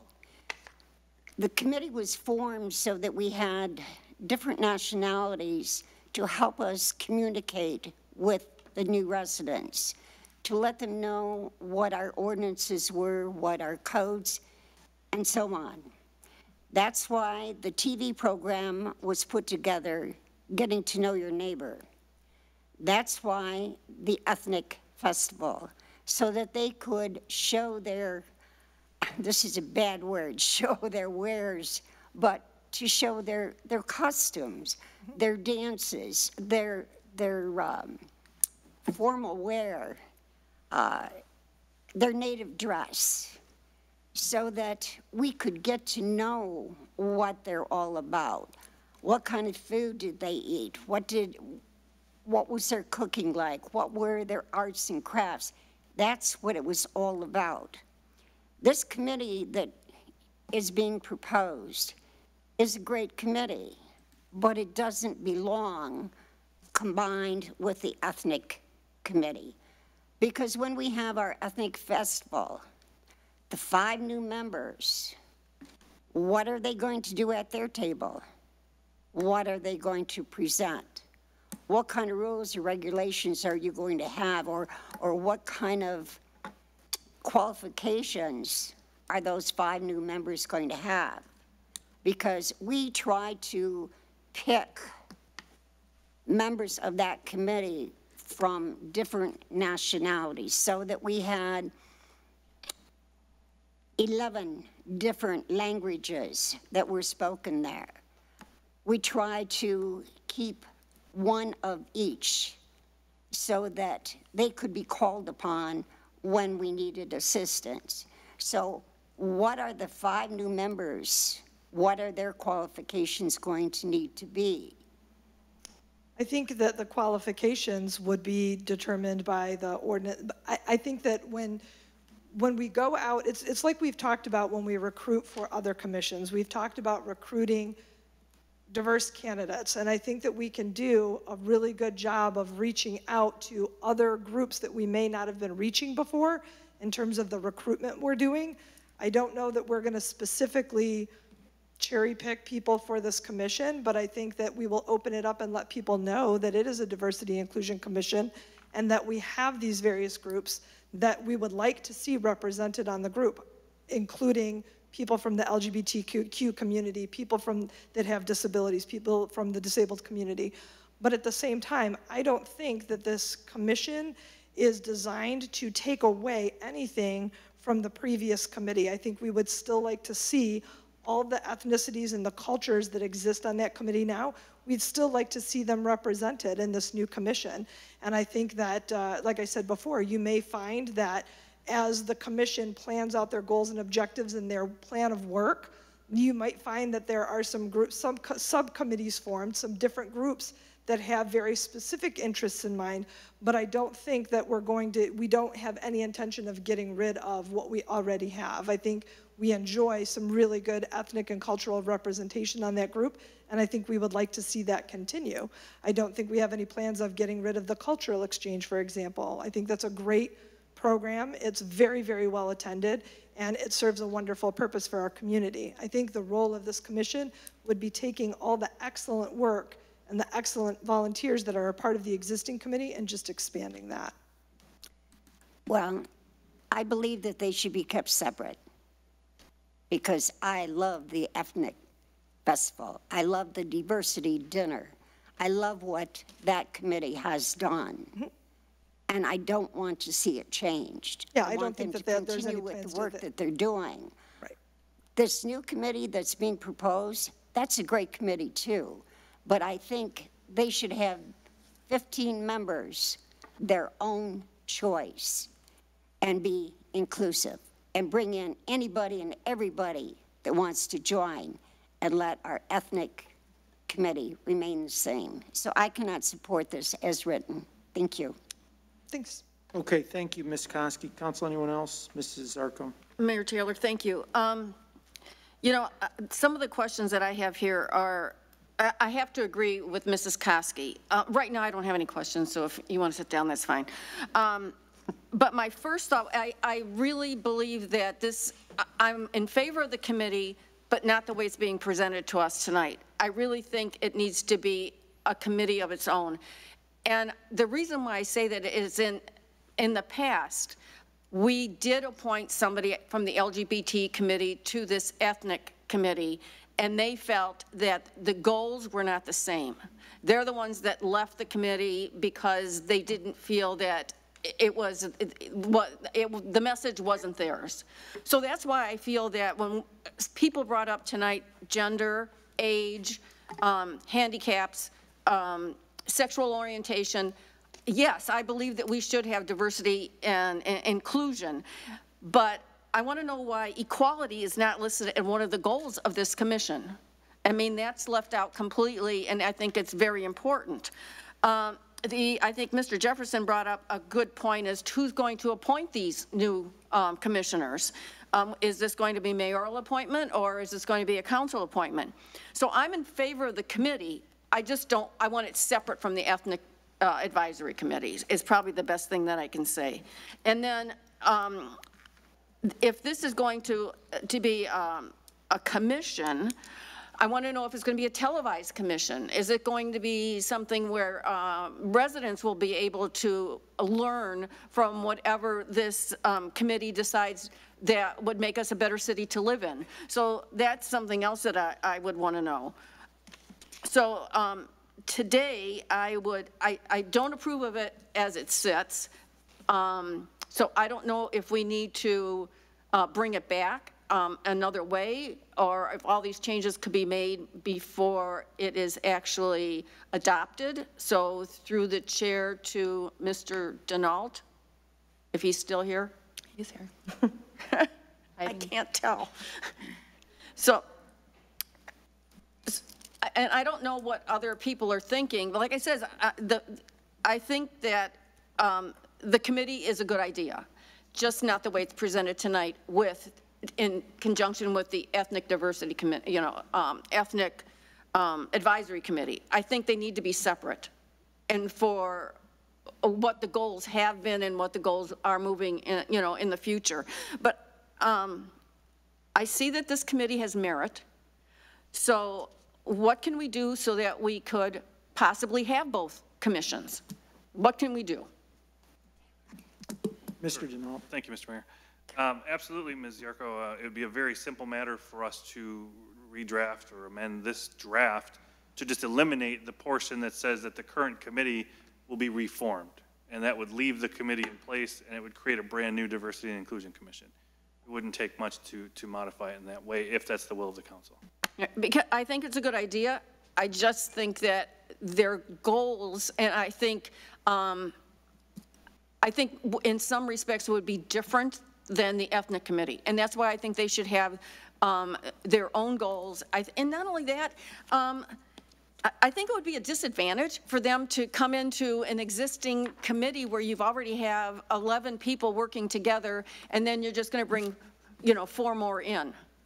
Um, I- I think that even if you had um, seven people on this commission to start, and maybe nine eventually, I think would be a a really good idea, instead of just having four. So that's my opinion. Um, uh, And not only that, we've talked about it for a long time. I remember um, uh, Mr. Vanderpool bringing this up probably five years ago, that maybe we needed to make some type of changes as, as the world is changing. So um, I'd like to see what we can do moving forward and, and to keep them separate. Nothing further. Thank you, Ms. Ziarko. Mayor Taylor? Mrs. Schmidt. Thank you. Um, I, I have to agree with Mrs. Koski. Um, uh, Our ethnic committee uh, is a phenomenal group of people, and they have worked really hard and really cohesively to help educate all the residents of the city um, about all the different cultures in our community.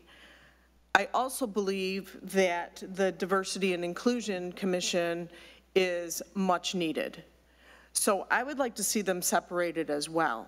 I think ethnicity and diversity and inclusion um, are, are different, in my opinion.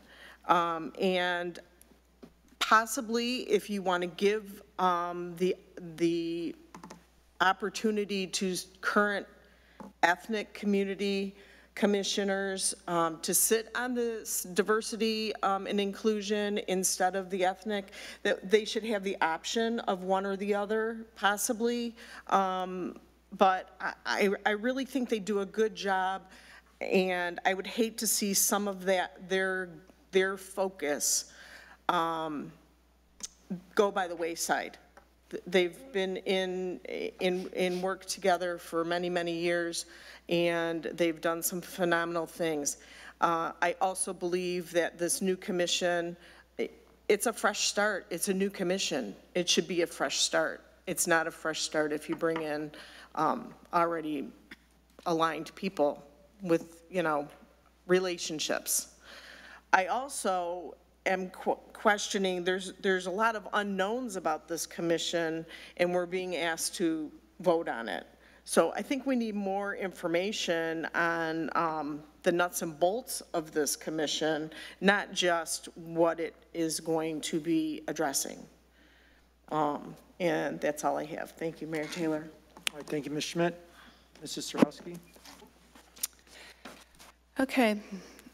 This is a, this is kind of a very, it's a, it's an interesting topic because we're trying to really promote the inclusion and diversity of our city and, and that is our goal. That is what Mr. Radtke's goal was, I believe, when he first uh, proposed this. But we also don't want to force two possibly different, I don't want to say agendas, but focuses, foci, together. The ethnic community, the ethnic commission, committee really works on promoting and enhancing and educating the rest of the residents on what they have to offer to the, to everyone. Am I correct, Ms. Kotula? At least that's my interpretation of it after living here for 30 years. But we don't, and so their, their focus is, in my uh, observation, that their focus of the ethnic committee is to really make sure that we enjoy and see the different aspects. You know, I'm Irish, I love seeing the Irish dancers, I love seeing other dancers from, that we've had them from Taiwan and different places that are just so interesting and different.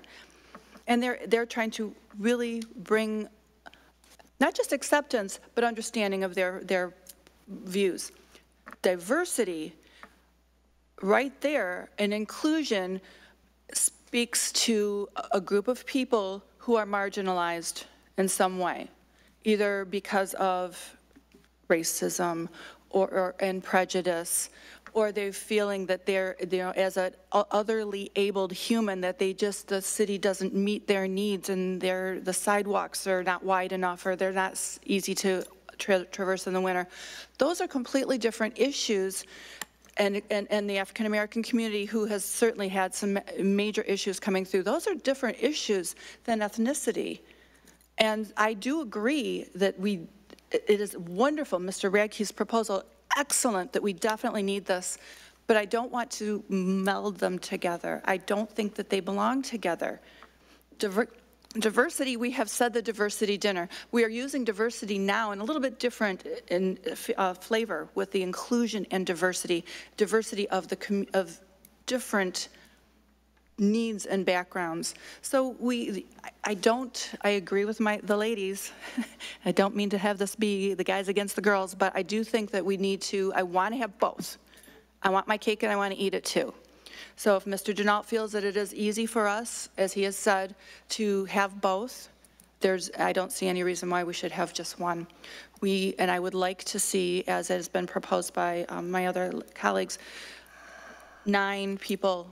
I don't think that four additional members to an ethnic, ethnic committee to make it an inclusive and, and diversity committee would be right, because there's certainly many more issues than that. You know, certainly many more things and more, more people that could uh, get their voice out there. So I'm going to be voting no on this initial proposal, and then I would like to find a way to maybe amend that we can bring a new proposal to uh, have two. Is that a possibility through the chair to Mr. Kaszubski? Well, Mr. Kaszubski, I think Mr. Denault already answered that, though. Well, I'm talking about a new, another motion, not an ability to. I'm sorry, say that again? I was talking about making another motion as opposed to asking about the feasibility. Oh, um, Mr. If that's- Kaszubski. if- Is that even necessary to do if we vote this down? So, uh, because this is a two-step process and it's an introduction, what we normally do in situations like this is we take council's feedback, and depending on the uh, consensus of council and, and what direction we uh, perceive we've been given, we go back, we make amendments, and we bring back uh, A new version. version for adoption. Okay, then great, then I don't need to make a second motion. So I'm going to be voting down the initial proposal as is with the recommendation that we come back to uh, city administration with something a little bit equal. To clarify, so purposes, for the purpose of the introduction, you would want to vote, uh, if you want this to move forward in the form that As it uh, is. it is, as an introduction phase, we would uh, vote on the introduction, have it introduced, we would bring it back at the next council meeting with revisions that we think council may, So if we want, so let me be clear, if we want revisions, we vote yes. If we like the, adi- the idea of the diversity committee, but if we vote, so that's what I need to know. it depends on the consensus of council. I, I, I leave it to you on how you're going to vote, but uh, the idea would be that we will take your comments back and draft uh, um, something that addresses the concerns of council as a whole. Okay. Clear as mud, thank you. Mayor Taylor? Mrs. Ziarko. Is, would be appropriate to postpone this introduction for, till the next meeting, have the revisions made that you heard tonight, so that, is it easier to do that and just? Point of order, Mr. Mayor. Okay, hold, hold on a second, Mrs. Ziarko. Mr. Radtke, your point of order. You haven't spoken yet, and she's speaking twice. Thank you for that, Mr. Radtke. Ms. Ziarko, you can continue. Oh, um, and that's just, that was what I'm asking. Would it be easier for administration to go and, um, if we postpone this tonight for two weeks and then bring it back with the suggestions that we've made?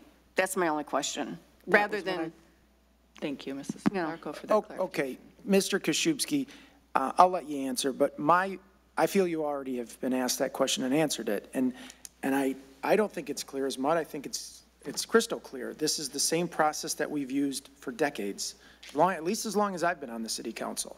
Um, I did it one agenda item ago. I was not in favor of the agenda item previously presented to us, but since it's a two-step process, I voted yes. The city administration received my feedback. I will provide them more feedback. And then whether or not it's, uh, it's, it's included in the next revision will be the determining factor in whether I vote yes or vote no on it. Voting yes today does not create this commission. Voting yes today moves us forward and gives us the ability to make amendments. It's no different than what we do during the budget process. We, we, we introduce the adoptions ordinance, and we make changes to it, and then at the final budget hearing, we adopt the budget. So I think that the process is clear, it's been something that we've used for decades, and I think that we should stick with it. I don't, I'm not interested in entertaining a motion to postpone this item because it doesn't give any direction to the city administration, giving, it would come back in the exact same form in two weeks, so we'd be no better off. I, I say we vote on this, and every council member is free to vote their conscience in whatever way they choose, um, but that's, that's my recommendation. Okay. Okay? So let me talk, and then, um, since this is something where things have changed a little bit, uh, we'll, we'll have a brief follow-up for any council member if you're interested. Um, I'm sensitive to the idea that this is introducing a new uh, mission to a long and well-established uh, committee that's done great work for the last 30 years. And, you know, as we've been talking and focused these last uh, few weeks or month on uh, increasing volunteerism and increasing opportunities for people to volunteer, I certainly don't want to take any action that frustrates people who have been volunteering for the past uh, several years or, or even several decades. With that being said, uh, I don't see the need for having two uh, commissions here or committees with such similar missions and objectives. I think that this, the mission of the Ethnic Community Committee can be forwarded and can be continued under a new name with additional members and with an increased scope and an increased mission.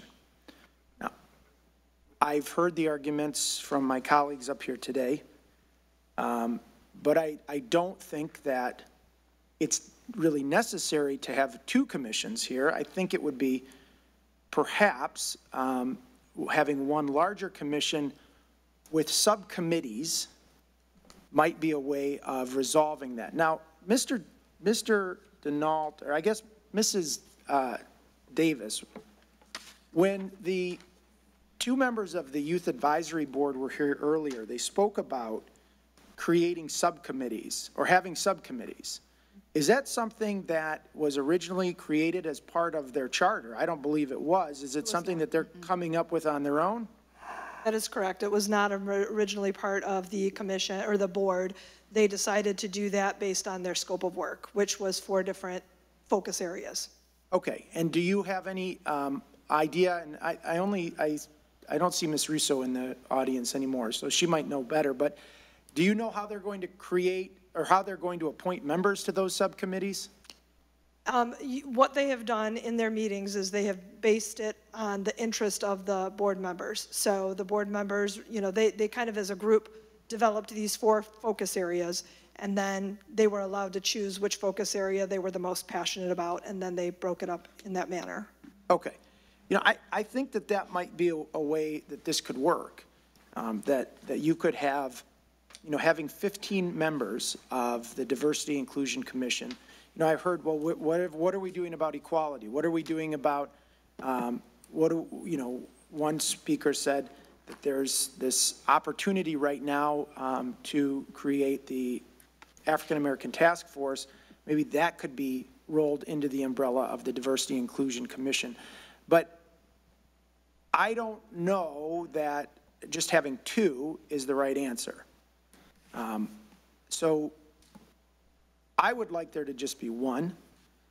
I'd like the scope to be expanded, but I would like to also create the opportunity for the people who are part of the Ethnic Community Committee right now to continue to focus on that mission and focus on that goal of, of having, um, celebrating the, the many different ethnicities that are here in the city of Sterling Heights. And, I mean, I think that's sort of the point of what, why the city administration, at Mr. Radtke's request, brought this to have an inclusive commission. And it sort of goes against the spirit, in my opinion, of what we're trying to do here. To say, well, we don't want to be part of any group that's going to be focusing on LGBT, or we don't want to be in part of any group that's focusing on uh, African-American issues, or we don't want to be part of a group that's focusing on, you know, inclusiveness for people with, with uh, disabilities. So to me, I think that's what, that's the policy that I want to put forward, that we're going to have a commission that takes all of those differences and, and celebrates all of them and works to have more inclusion, equity, uh, better understanding of different cultures, races, religions, skin colors, backgrounds, you name it, everything. So that's, that's my opinion on it. So I'm going to be voting yes. And I think that, um, I encourage the other council members to vote yes and give the administration a couple weeks to come up with something that we can either vote yes or no on in two weeks. So that's, that's, those are my comments, and I'll open it up for brief second uh, statements if anybody has any. Mr. Mayor. Mr. Radtke. Thank you, Mr. Mayor. I just want to commend you for your, your talk there, Mr. Mayor. I think you put it better than I could have, what the, what the focus of this committee is. I don't think we're trying to, to destroy or stop the Ethnic Advisory Committee, but I think having two committees or a commission and a committee that do the same exact thing is uh, contrary to our goals. The Ethnic Advisory Committee already does a diversity award. And I think the, the, you know, the Diversity and Inclusion Commission, that was something that they would be focused on. So having two committees or commissions that are at odds with each other in the city, I don't think that that is a positive development. And I, I, I appreciate what, what uh, Mrs. Koski said, which is the idea of this committee is getting to know your neighbors. And I, I fully agree. But I think we can get to know our neighbors even better than just based on ethnicity. I think we can get, we can, we can get to know our neighbors based upon any number of factors that make up how they live their lives in our city every day. And we've come a long way from 1990. I think we have a long way still to go. But I think that the creation of this commission with subcommittees, which I assume would happen anyways, would be the best, in the best interest of the city. That's why I'm going to vote yes. That's all I have, Mr. Mayor. Mr. Yanez. Thank you, Mr. Mayor. So I, I think this is probably one of the most important things that this council could have done in a long time, uh, Inclusion Diversity uh, Committee. Um, I, am extremely disappointed that this came to us tonight in this, uh, in this form, in this manner. I would have expected a more complete uh, document, a more complete ordinance. Yeah, not all the ordinances we get are, are perfect, and sometimes we, we uh, pass it on the first time and, and fix it uh, before we vote on a second time, but um, this isn't even close. Not even close.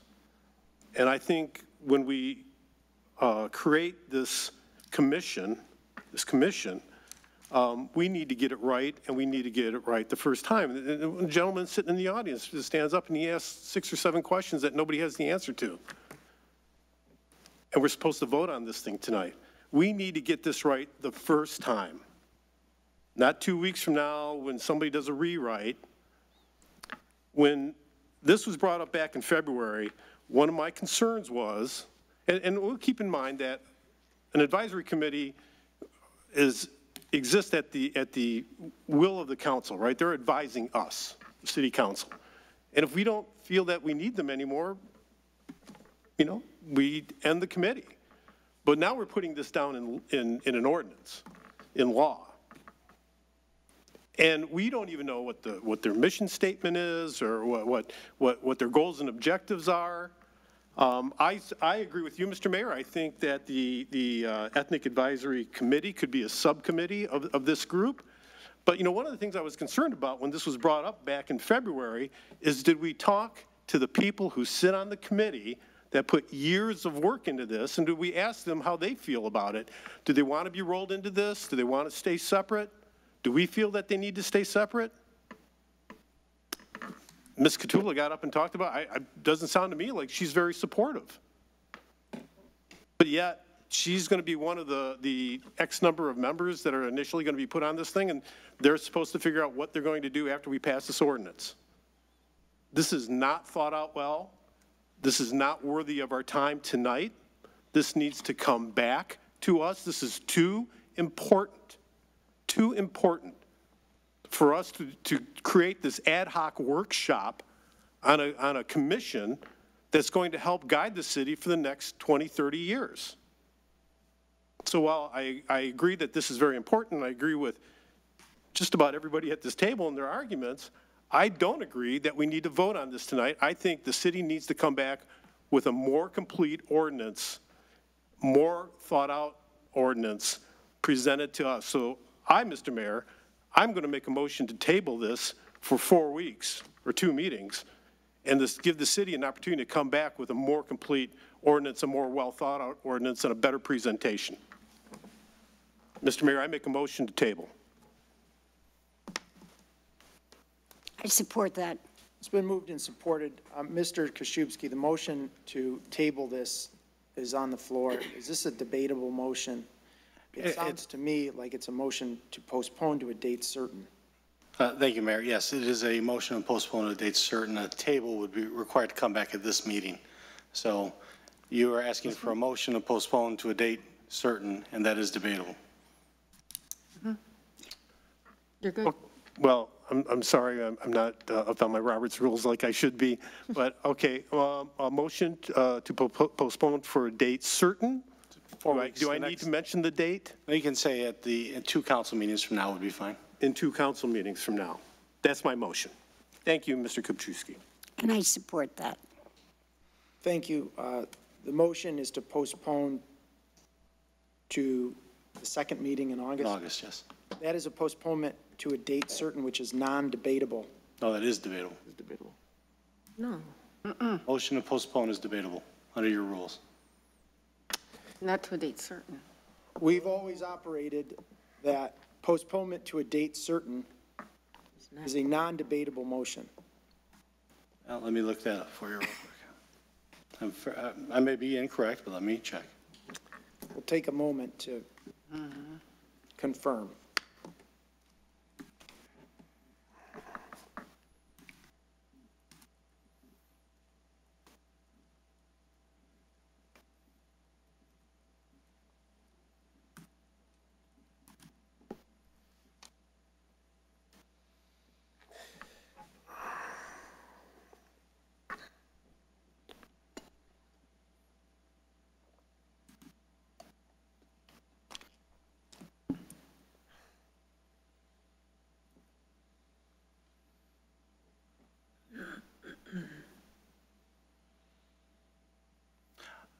am corrected. I'm sorry, the motion to postpone indefinitely would be debatable. The motion to postpone to a date certain is not. You are correct. Okay. With no discussion, um, the motion is to postpone to the second meeting in August. It's been supported. Ms. Ryska, can we please have a roll call vote? Mrs. Ziarko? Yes. Mrs. Koski? Yes. Mr. Radtke? No. Mrs. Schmidt? Yes. Mrs. Sierawski? Yes. Mayor Taylor? No. Mr. Yanez? Yes. Motion carries 5-2. Uh, We'll move on to the next item on our agenda tonight, which is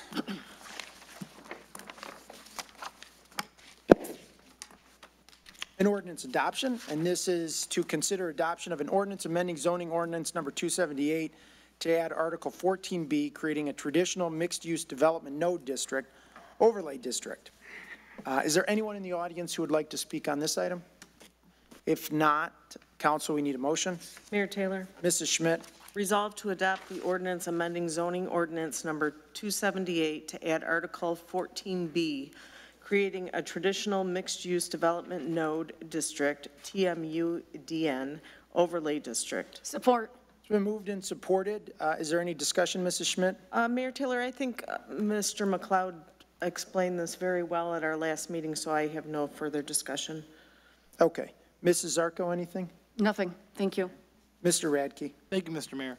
I fully support this. I just wanted to uh, go further and uh, ask Mr. McLeod to really consider the 16-mile and Schoenherr intersection as a part of this district, especially because we have buildings there that have been vacant for some time. I think that they could use some redevelopment. That's all I have, Mr. Mayor.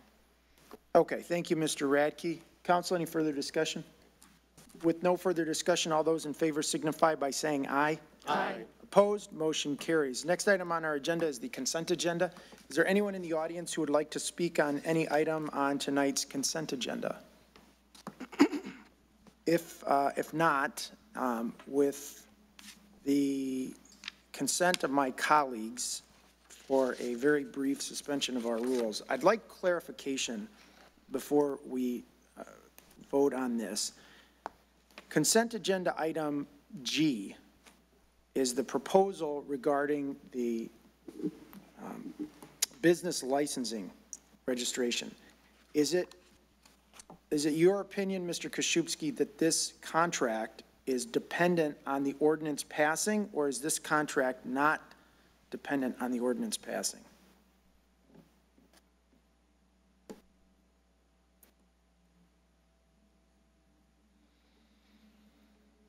If council does not ultimately approve the ordinance, we will not be moving forward with this contract. While you will have approved it, if you would like to make it, uh, we, we would have to pull this off the consent agenda, take it under consideration item, and amend it if you'd like to say contingent upon uh, ultimate passing. Just, just to be postpone this. clear, though, we're not moving forward, we're, we would be approving the contract, which is a different thing entirely than signing the contract. Is, and that's your understanding? That's Yes. what your, that's your advice, okay. I'm comfortable leaving it on the consent agenda, but I'd, I'd welcome any colleagues of, on the council who would want to remove that item. Hearing none, um, and having no per- audience participation, council, we need a motion. Mr. Mayor, Mrs. Koski. Move to approve the consent agenda as presented. Support. It's been moved and supported with no discussion. All in favor signify by saying aye. Aye. Opposed, motion carries. Next item on our agenda is to consider nominations to the City of Sterling, to consider a nomination to the City of Sterling Heights Zoning Board of Appeals. Is there anyone in the audience who would like to speak on this item? Yes, I'll take you, ma'am.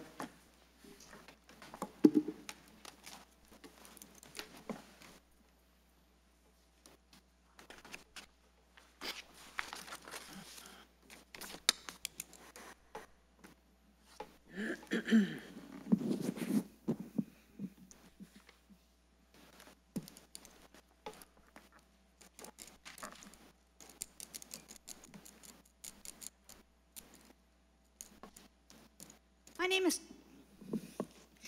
sorry, I'm short. My name is Kelly Skillen, and I'm a resident and business owner in Sterling Heights. I'm here today because I'm both appalled and dismayed at some of what happened at the last meeting. When we moved to Sterling Heights, we came from a much more diverse community. Friends cautioned us about Sterling Heights' checkered past, and we reassured them that it was a changing community. We've seen those changes on our block and in our neighborhood, and I believe diversity strengthens our community, and I hope you do too. But as my grandfather used to say, actions speak louder than words. I could stand up here and provide you with numerous studies that demonstrate the value of diversity, particularly in small groups. I could offer you data that concludes that just being around people that are different than you causes a change in your perceptions and worldviews, even without any conscious awareness that that change is occurring. And I could offer you snippets of conversations that I've had with my neighbors and friends that indicate that they also understand and value diversity in this community. And you all certainly seem to recognize that when you point out that voters elected four women to the council. But again, actions speak louder than words. And honestly, I'm not here to scold you for the words you used. I'll leave that to the media and Facebook. But I've seen a number of claims by council members of the inability of the city to recruit a diverse group of volunteers. I've heard the equivalent of people throwing up their hands in the air and saying there's nothing we can do. But there's always an action that can be taken, so I'm here to offer a few. First, make volunteer recruitment a priority. In 2009, Iowa passed a resolution requiring all governmental boards be gender balanced from the state to the local level. While I'm not suggesting a similar mandate be done here, city leadership could certainly take a more active and stronger role in making volunteer recruitment a priority. As one resident said, what if the city put as much marketing into boards and commissions as they did for the census? Two, limit the number of boards and commissions a resident can serve on. A resident member of the Planning Commission claimed that 114 people currently fill 142 board positions. That's shameful. Limiting people to one board would effectively force the issue and not allow future members of City Council to fall back on the same people who are already volunteering. Three, Make sure the website provides current and relevant information. The city has improved its website since I've moved here and includes a decent amount of information about boards and commissions. But outside of planning and zoning board of appeals, there is little information about the process. I know it's a rolling application, but offering information about when appointments are usually considered would help residents know when they need to apply. Show the website and any written materials to a variety of audiences and ask for their input. If they were considering volunteering, does it have the information that they'd like to see? Maybe they'd like to see it accessible in other languages. I know I'd like to know how long a board appointment is for before I apply to serve. Four, use your networks to actively seek volunteers. All of the volunteer management literature will tell you that few people volunteer without being asked, and yet most people volunteer. Why? Because someone took the time out to tell them about the opportunity and suggest that they'd be good at it. The city, from the leadership to the staff to the volunteers, needs to be out there promoting these opportunities. This is not a one person or one office responsibility, but rather everyone's responsibility. And those responsibilities begin with you. You are the democratically elected leaders of one of the largest cities in the state of Michigan. You are the ones we have chosen to represent us. You set the tone and the agenda, as much as we as residents can make our voices heard, you are ultimately the ones whose actions will speak louder than words. Diversity matters, representation matters, and inclusion matters. Make your actions speak louder than your words. Okay, thank you, ma'am. Thank you.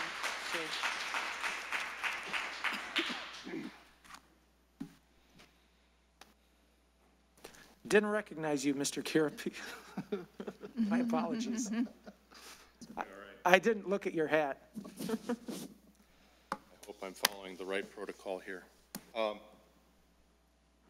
Good evening, members of council, Mr. Mayor, Mr. And Mr. Van.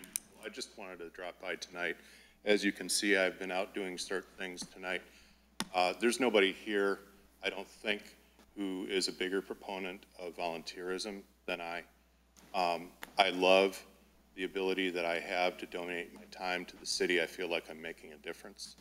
I am the originator of that number of 114 people serving in 142 positions. I believe that is to be, I believe that is correct within plus or minus two or three. Um, we really, really have to work harder and longer at attracting new volunteers to this city. Um, we had a volunteer fair uh, a couple of years ago. Mr. Vanderpool worked in concert with uh, the uh, lady that occupied Mrs. Hughes' position at the time. It came off wonderfully. Uh, the second one, not so much. I would like to see that come back with a vengeance. The first one was very successful. And uh, I would like to encourage my fellow residents to get out, find out what the opportunities are for volunteering in Sterling Heights. They are life-changing. They've changed my life. They've made me a better person. And uh, I hope that uh, we can work together as a city to bring more people in. My personal belief is the more volunteers we get, the more diversity we'll get. The diversity will come from bringing in more volunteers. Thank you very much. Thank you, Mr. Garapi. Uh, yes, ma'am.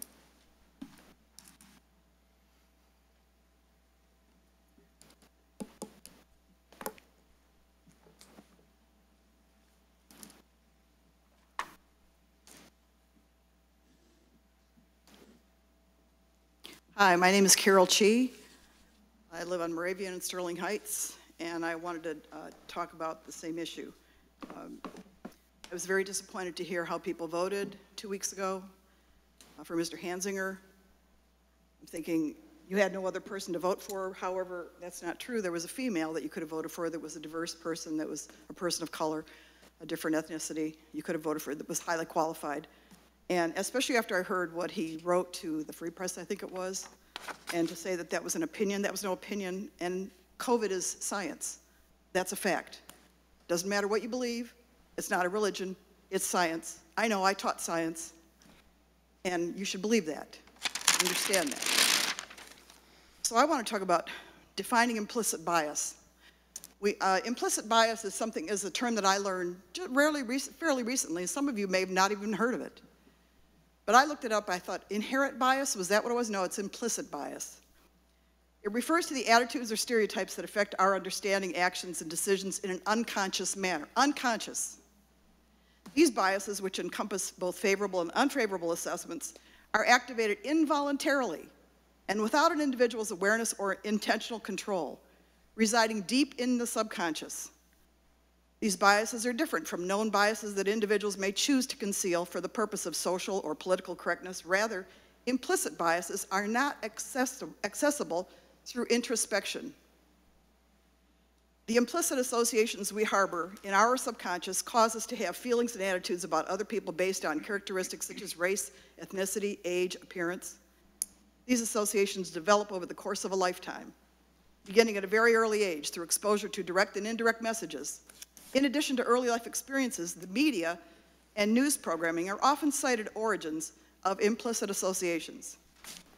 There are a few characteristics of implicit bias. They're pervasive. Everyone possesses them. Everyone on this earth possesses them. Even people with avowed commitments to impartiality, such as judges. You might have heard some judges' decisions and thought. No, you don't call points of order. Implicit. You do not call points of order. You, Out of order. In fact, Mr. Jefferson, you are out of order. So thank you for your, uh, I'm allowing her to speak on this item, and I believe it is within the bounds of what is germane to this topic. Everybody knows it's germane to this topic. You may continue, Ms. Chief. Mr. Jefferson, you can wait for your turn, okay? You can wait for your turn. Go ahead, Ms. Thank Chief. you for understanding. Uh, They're related, but uh, implicit and explicit biases are related, but they're distinct mental constructs. They do not necessarily align with our declared beliefs. We could say, oh, I'm not racist, I'm not biased, I believe everything is equal, I believe everybody's equal already, and that's not the case necessarily because of implicit bias that everyone possesses. We often favor our own in-group, our own group of people. But they are malleable, they are changeable, you can learn, okay? And the reason I say this, so that people in decision-making roles must consider implicit bias and make a conscious effort to begin including people on city commissions from all races, religions, ethnicities, and genders. Implicit bias, this is a science. It's been studied. I have a few copies here. I can leave them with you for the members of the board. I think I'm, I was trying to make 15 copies. I think I got 10. My computer is kind of old, my printer and all that.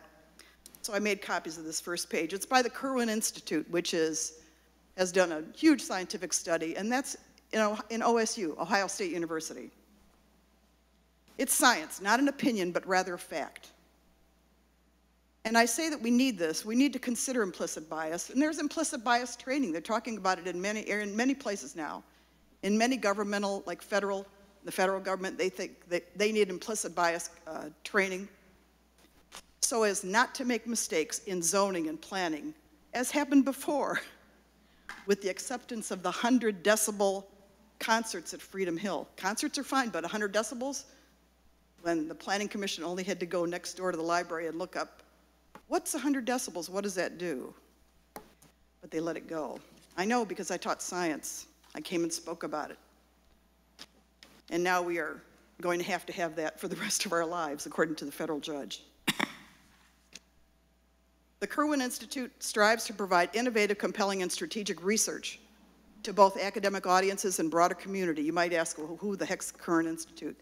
Much of their research is applied and policy-oriented, providing informed, I'm sorry, informed direction and assistance to social justice advocates, communities, funders, and policymakers like you.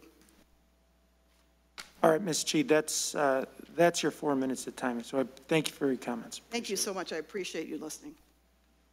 Is there anyone else who'd like to speak on uh, this item? Mr. Jefferson.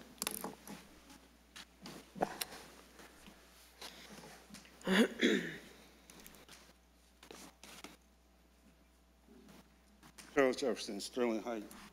Um, Taylor, you're gonna have to explain, what did that have to do with the consideration of the nomination of the Sterling Heights, uh, Board of Appeals?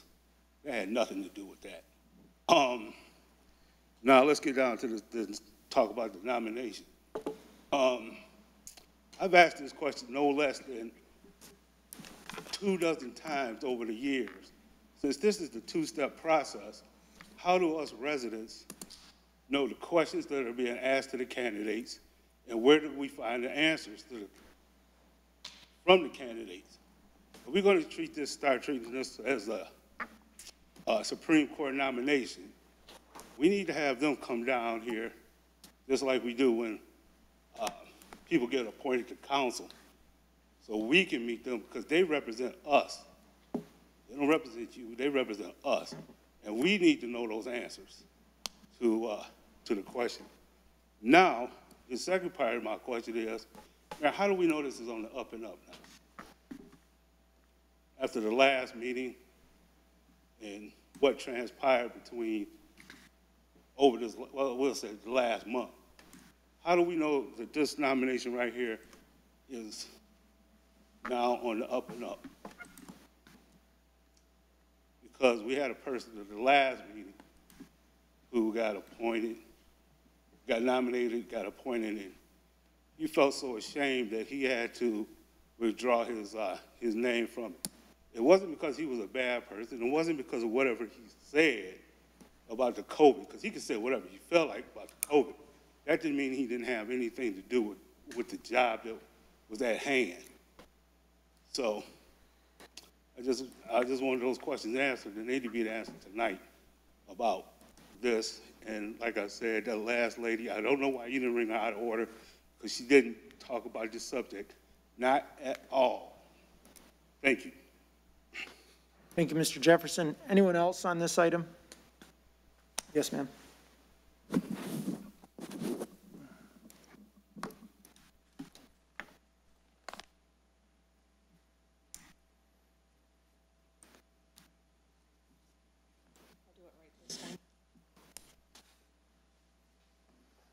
Thank you.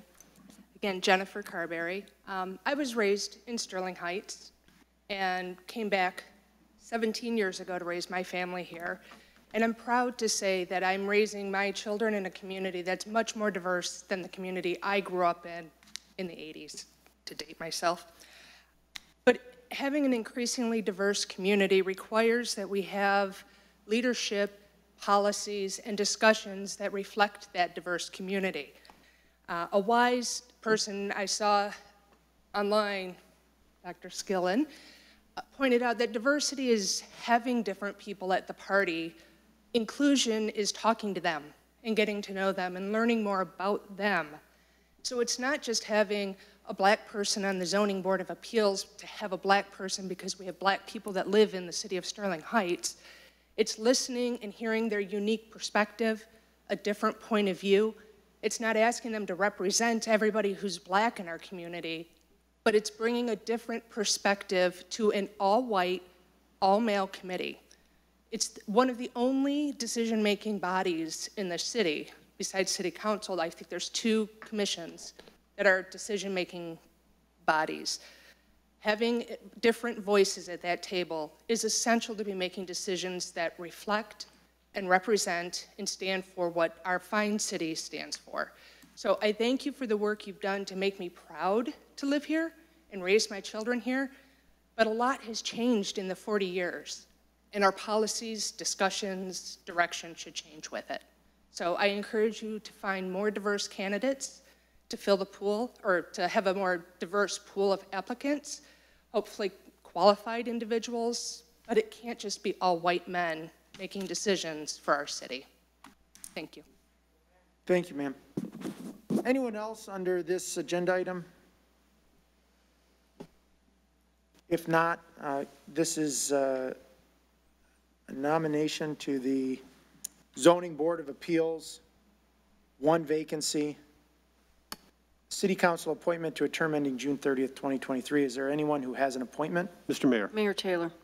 Uh, Mr. Yanez. Um, Mr. Mayor, I uh, resolve to nominate Aisha, sorry, Aisha Faruqi for consideration as an appointee to the Zoning Board of Appeals at the August 5th, 2020 regular city council meeting. Support. It's been moved and supported. Any discussion, Mr. Yanez? No, no, doggone it. No, I have no discussion at this time. Okay. Mr. Radtke? Sure, Mr. Mayor.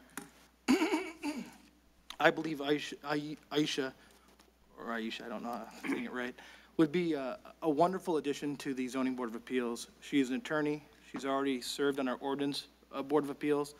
She contacted me because she's going to have to resign that position because she got a new, a new uh, job as an attorney, and she can't make the 3 PM meeting. She's interested in moving up and serving, and this is an issue that she works on and she's fascinated with. I believe she would be an excellent nominee. She's already served a year on the OBA, just for record. Thank you, Mr. Radtke. Anyone else, council? Mayor Taylor, Mrs. Ziarko? first of all, I don't know the nominee. But I have to tell you that um, this particular nomination and our process has been beat up so badly here at the council meeting, on social media, that I feel that if we're looking for diverse candidates, we need to um, make sure that we have a large pool of candidates to choose from. So I, my personal feeling is after uh, what happened at the last meeting, um, we had a volunteer, volunteer got abused both, he- which was, I think, ridiculous. Point of order. Um, It was rude and, um, you know, caused him to say that, you know, he doesn't want to volunteer for us. So I personally would like to see some of these um, nominations for these commissions be postponed for 90 days until all of this cools down. We do exactly what everybody's asking us to do, is go out there, get a diverse group of people that are interested in this commission or any other commission, so then when we make these appointments, um, we have a large pool to choose from. And that's all I'm going to say. Because tonight, um, I'm not sure I could vote to approve this tonight. And it's not the person, it's just the process that we've been put in, the embarrassing situation the city's been put in, and the inaccuracies of everything that's been on social media about this process. So um, I'm really disappointed in some of the people that even spoke tonight. Was certainly different than getting beat up on uh, social media when they really, everything was inaccurate. So um, uh, th- That's all I have to say. Um, I agree that if you want these committees to be diverse, we need to have to- a pool of people to choose from. So I think it should be postponed for thir- 90 days. Council, anyone else? Mayor Taylor? Mrs. Schmidt? So when this came before us, um, originally, Mr. Hansinger and the other female candidate that keeps getting referenced we're not the only two candidates. We had a list of candidates, just to be perfectly clear. Now we have a list of 38 candidates, and I'm not comfortable, I have not been able to vet all the new candidates, and I appreciate all, all the new applications that we've received. But I need more time to vet some of these new candidates, and I would absolutely be in favor of postponing this nomination. I think um, we need to get it right, and um, I would be willing to support a motion if Mrs. Ziarko made it to, to postpone this. Um, You know, everybody, it's been said, you have to consider all races, religions, sexes. Our applications don't tell us any of that information. None of it. So you've also asked us to revamp our application and our process. So how can we pick someone without us revamping that process? So um, I need more time to vet all these new applications, and I think that it doesn't put the city in a bad position to postpone this, this um, appointment tonight. So that's all I have. Thank you. Okay, thank you, Ms. Schmidt. Council, anyone else? Mr. Mayor? Mrs. Koski? I agree with my colleagues. I would like to postpone this also. Listening to the audience tonight, that we need to enhance our volunteer, our, our list of candidates for this. I found one just going back, and I told Mr. Mayor Taylor about the person, and he said, is it male or female? I don't know because I can't tell by the name. I need to call that person. They sounded like they would be well qualified for the board. But I agree, we need a larger list of candidates. And the only way we're going to get that is if we say, if you're sitting out there in the audience and you want to serve on this particular board, take out your your iPad, your, your computer, your phone. Make your application.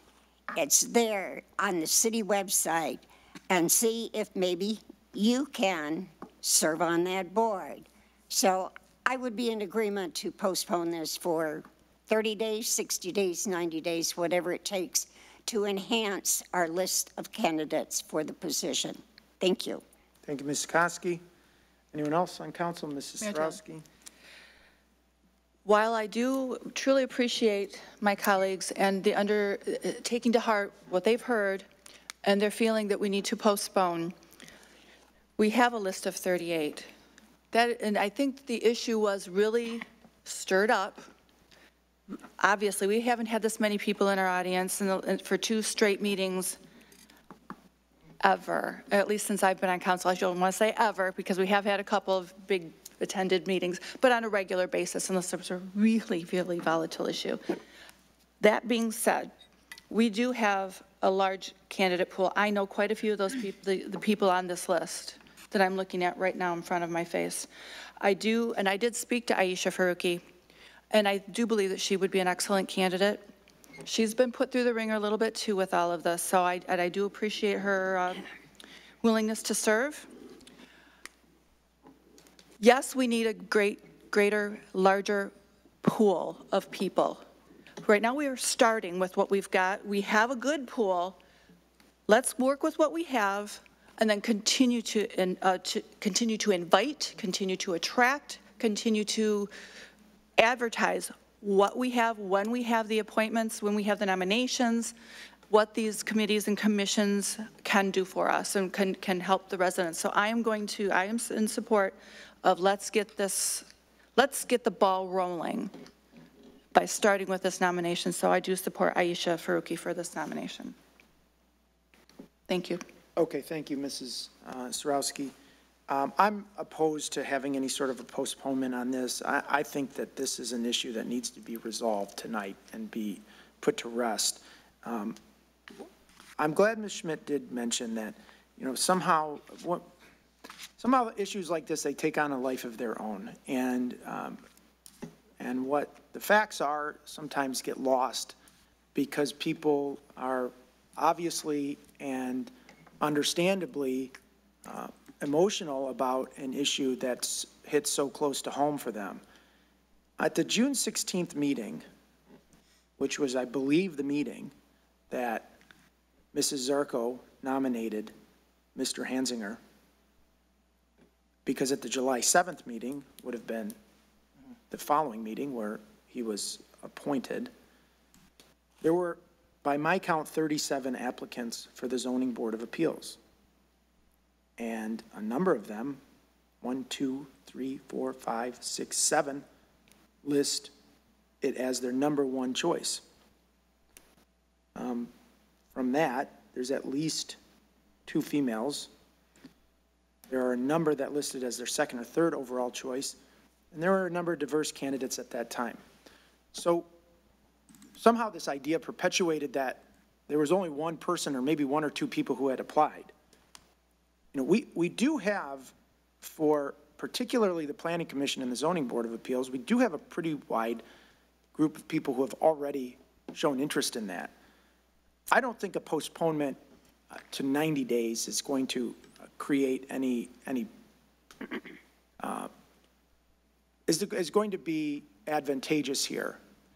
If the point is to create a pool of qualified applicants that better represents the community, I would say we already have that right now.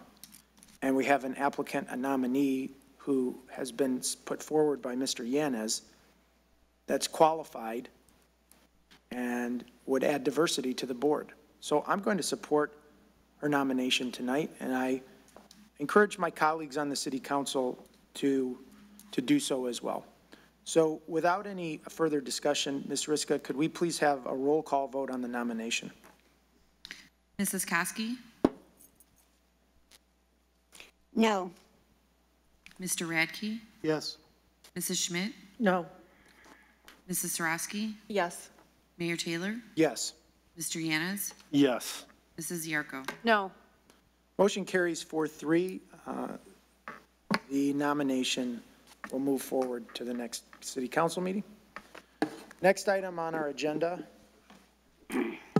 is to consider appointments to various boards and commissions.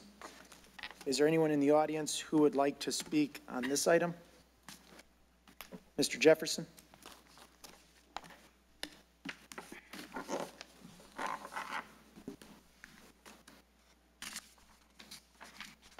Um, I would like to know, what are the qualifications for being on boards and commissions other than just, uh, being a resident for one year and a registered voter? Because Mayor Taylor just said that the young lady, she was qualified, but that means everybody's qualified. So, um, what are the additional qualifications? And then, again, if any of this two-step process, where can we find out the information on the candidates and the questions that was asked? Thank you. Thank you, Mr. Jefferson. Anyone else on this item? Yes, miss?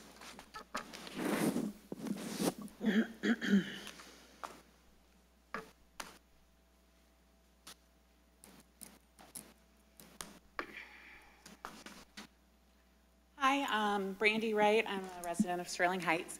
I just wanted some clarification. Um, Someone on Facebook the other day said that after an application is submitted, it um, doesn't actually, it gets held for three weeks and then doesn't get to you guys um, until after that. So I was just wondering if that's the case. Um, If so, I I think a large number of us who have applied in the last couple of weeks, myself included, wouldn't be considered for some of these positions that are coming up. Um, I also wanted to say that, sorry, perhaps just to um, make sure everybody in the city becomes aware of these positions, you know, we all get tax bills, we all get water bills every quarter, maybe putting a flyer or something in, just reminding people that these volunteer positions are available. That way, everybody knows about them. Thank you.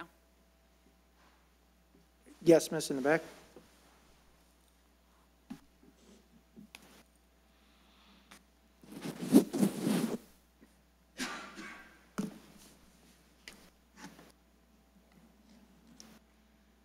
So it's been brought up multiple times that we need to make the information about how to apply, when to apply, and what the qualifications are clearer and more accessible.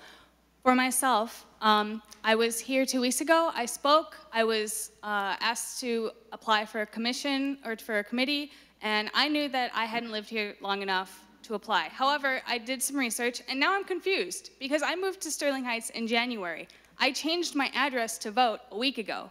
So do I ha- now have to wait a whole nother year because I just changed my address officially a week ago?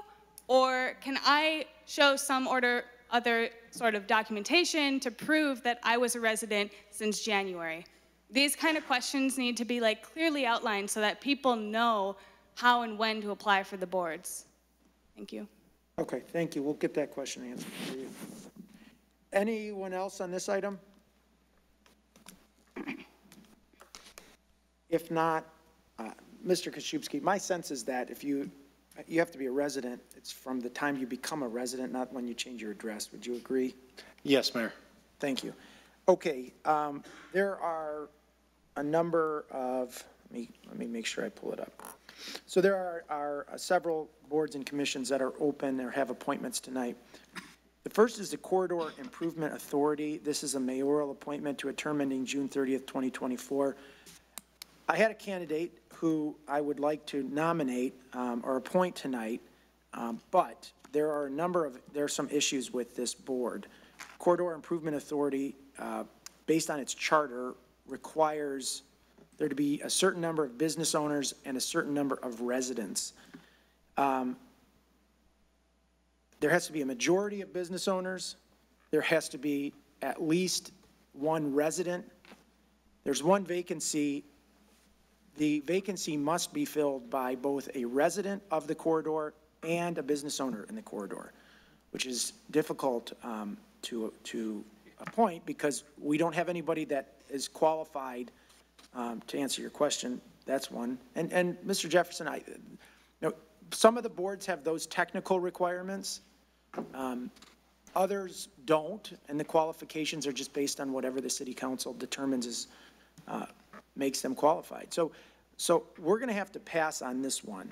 And in fact, uh, like we've done at prior meetings, you know, Mr. Vanderpool, do you have any recommendation on, or Mr. Kaszubski, on when we should, when we should postpone this to? And, um, you know, I don't want it, I don't want it to just keep coming back. Do you have any, any uh, guidance you can give Mayor, me? my thought on this is a, a 60-day postponement would be in order. As you mentioned, uh, the Corridor Improvement Authority is uh, structured based on a, a state statute, uh, so we're governed and restricted uh, by a number of state statute provisions. Um, As you mentioned, uh, this is a seven-member board. The last appointment here with this vacancy is really tough to fill, and this may require an ordinance amendment, which we have to study a little further. We have the ability uh, pursuant to state statute to go up to nine uh, commission members or, or authority members. Uh, So we're going to study that and see if that might be beneficial, and I think 60 days would be appreciated. Okay, 60 days, uh, the second meeting in September uh, puts us actually in less than 60 days. But, so why don't we go, why don't uh, we do this? I would entertain a motion to postpone this item to the October 6th, 2020 City Council meeting. Support, or I'm sorry, so moved. Support. It's been moved and supported with no discussion. All in favor signify by saying aye. Aye. Opposed? That motion carries. Thank you, council, for that. Next is the Local Development Finance Authority. This is a mayoral appointment, two open terms, uh, partial terms, one ending June 30th, 2021, and one ending June 30th, 2023. Uh, To the term ending June 30th, 2023, I would uh, appreciate a council member who would make the appointment of Jeannie Shabath Lewis uh, to the partial term ending June 30th, 2023. Mayor Taylor? Mrs. Schmidt. Resolve to appoint Jeannie Shabath Lewis to the Local Development Finance Authority um, to a term ending June 30th, 2023, subject to the appointee meeting the qualifications set forth in Charter 4.03 and taking the oath of office within two weeks. Support. It's been moved and supported. Uh, Is there any discussion? No. With no discussion, all in favor signify by saying aye. Aye. Opposed, motion carries. On the Local Development Finance Authority to a term ending June 30th, 2021, I will pass on that item right now. Next up is the Beautification Commission. This is a board with two openings, one to a term ending June 30th, 2022, one to a term ending June 30th, 2024. It is a city council appointment. Council, is there anyone who would like to make an appointment to the Beautification Commission? Mayor Taylor? Mrs. Ziarko? I don't have an appointment, but I need to ask, did we need to postpone the one you passed on? Well, I'm going to pass on it, and then we, we're going to take all the Consolidated postponements motion. At the same- once at the Okay. end. Okay? Okay. Mr. Mayor? Mr. Radtke. Resolve to appoint Linda Meda, or Maida, to the Beautification Commission to a term ending June 30th, 2022, subject to the appointing meeting the qualifications set forth in Charter subsection 4.03, and taking the oath of office within two weeks. Support. It's been moved and supported. Is there any discussion? Uh, Mr. Mayor? Mr. Radtke. Uh, She was brought forward by the liaison and highly recommended. I think she'll do a great job on the committee. I agree. Anyone else, council? With no further discussion, all in favor signify by saying aye. Aye. Opposed, motion carries. Uh, Second opening on the Beautification Commission, is there anyone who'd like to make that appointment? Mr. Mayor? Mr. Radtke. Resolved to appoint Susan Hobig to the Beautification Commission to a term ending June 30th, 2024, subject to the appointing meeting the qualifications set forth in Charter subsection 4.03, taking the oath of office within two weeks. Support. It's been moved and supported. Any discussion? Same as before. Going to be a great addition, and she was recommended by the liaison. Mm-hmm. Council, any further discussion? I totally agree. Thank you.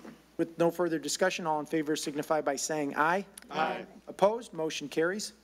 Next is the Solid Waste Management Commission. This is a uh, city council appointment to a term ending June 30th, 2022. Is there anyone who has an appointment to the Solid Waste Management Commission?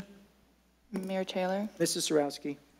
let me just get to the language. Move to appoint, bear with me, and I apologize if I mispronounce, Asharina Isho Opatik to the Solid Waste Management Commission to a term ending June 30, 2022, subject to the appointee meeting the qualifications set forth in Charter subset 4.03 and taking the oath of office within two weeks. Support. It's been moved and supported. Is there any discussion?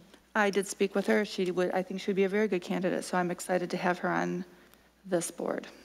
Okay. Council, any further discussion? With no further discussion, all in favor signify by saying aye. Aye. Opposed, motion carries. Next is the Sustainability Commission. This is a commission with five openings to terms ending throughout, uh, well, through different dates, June 30th, 2021, 2022, 2022, 2023, and 2023. Is there anyone on council who would like to make uh, one or more appointments to the Sustainability Commission? Mayor Taylor? Uh, Mrs. Schmidt. Thank you. Resolved to appoint Jonathan Matthews to the Sustainability Commission to a term ending June 30th, 2023, subject to the appointee meeting the qualifications set forth in Charter 4.03 and taking the oath of office within two weeks. Support. It's been moved and supported. Is there any discussion, Mrs. Schmidt? Uh, Yes, thank you, Mayor Taylor. Um, Mr. Matthews actually is out in the audience today. He has been attending council meetings um, since uh, he was interested in Mr. Yanez's seat and has spoken numerous times a- at the uh, podium regarding um, his interest in this commission. He's a school teacher, and I think he would be an amazing um, contribution to this uh, new commission. So that is all I have. Thank you, Ms. Schmidt. Council, anyone else? Mr. Mayor, Mr. Radtke? Resolve to appoint Mark. Oh, why don't We're not done yet. why don't we vote on this one, I apologize. and then we'll, we'll go to the next My one, fault. okay? Uh, Any other discussion? Just very briefly, I, I echo Ms. uh, Schmidt's comments of Mr. Matthews. I, he was one of my appointments that I planned to make, so I do appreciate that she made that as well. He's an excellent voice for the people and voice for students and voice for the community, so I'm really excited to have him on this board as well. So thank you. Okay, council, anyone else? With no further discussion, all in favor signify by saying aye. Aye. Opposed, motion carries. There are four more appointments. Mr. Radtke? I apologize. Resolved to appoint Mark Graff to the Sustainability Commission to a term ending June 30th, 2022, subject to the appointee meeting the qualifications set forth in Charter subsection 4.03, taking the oath of office within two weeks. Support. It's been moved and supported. Any discussion, Mr. Radtke? Yes, thank you, Mr. Mayor. Uh, Mr. Graff has been very active in all of our sustainability initiatives. Um, I think he was part of the reason we started this committee. He's uh, done multiple things in, in, um, involving both the nature preserve and other uh, tree initiatives in the city. I think he'll be a great asset to the committee. I agree. Anyone else? Mayor Taylor? Mrs. Ziarko? Um, Would Mr. Radtke be interested in changing that term limit to the 6/30/2023? Because I really feel that he would be a good addition to stay on longer. Because we, he's communicated with us on numerous occasions, and I think, um, I think he would be a great asset uh, for a length of time. I take the friendly amendment. Okay. Uh, Is that sufficient, Mr. Kaszubski? Okay, it's, the, the motion is for the appointment of Mr. Mark Graff to the term ending June 30th, 2023. Any further discussion? No further discussion. All in favor signify by saying aye. Aye. Opposed, motion carries. Uh, So that takes care of the two terms ending June 30th, 2023. We have two terms ending June 30th, 2022, and one ending June 30th, 2021. Is there anyone who'd like to make another appointment? Mayor Taylor? Uh, Mrs. Sierawski? Move to appoint Raylanda Robinson to the Sustainability Commission to the term ending June 30th, 2022, subject to the appointee meeting the qualifications set forth in Charter subset 4.03 and taking the oath of office within two weeks. Support. Been moved and supported. Is there any discussion, Mrs. Sierawski? I think she would be a good addition, and I'm very, again, excited to have her on this one. We look forward to our diversity. Okay. Uh, Thank you, Mrs. Sierawski. Anyone else, council? Mayor? Mr. Radtke? I, I concur, and Mrs. Robinson's here right now, and I think she'd be a great uh, addition to this committee. I think she's going to do wonderful things for the city. All I have, Mr. Mayor. Okay. Uh, Council, any further discussion? With no further discussion, all those in favor signify by saying aye. Aye. Opposed? Motion carries. Uh, We have two more appointments, uh, potential appointments to be made tonight. Is there anyone else who'd like to make an appointment? If, uh, if not, I would ask somebody make the appointment of Ashley Frank. Uh, Ms. Frank is also in the uh, audience tonight, and I've spoken with her, and uh, she's expressed interest in serving on the Sustainability Commission, and she's, uh, has a background that I think would be uh, an asset on the Sustainability Commission. Um, So if anyone would uh, be willing to make that appointment, I would appreciate it. Mr. Mayor, Mr. Yanez. just clarification, was it Ashley? Ashley Frank. Ashley Frank. Um, It's resolved to appoint Ashley Frank to sustain, to the Sustainability Commission to a term ending June 30th, 2022, subject to the appointee meeting the qualifications set forth in Charter 4.03 and taking the oath of office within two weeks. Support. It's been moved and supported. Is there any discussion? Um, I do want to uh, thank you, Mr. Yanez, for that, uh, for that nomination or for that appointment. Uh, Ms. Frank was also uh, the uh, city administration's recommendation for this position. So um, with no further discussion, all those in favor signify by saying aye. Aye. Opposed, motion carries. Uh, There is one uh, appointment left. Is there anyone who'd like to make that motion, or I would, uh, well, is there anyone who'd like to make that, make an appointment? If not, I would entertain a motion to postpone. So moved. Hold on. Hold on. I'm calculating something. Uh, I'd entertain a motion to postpone to the,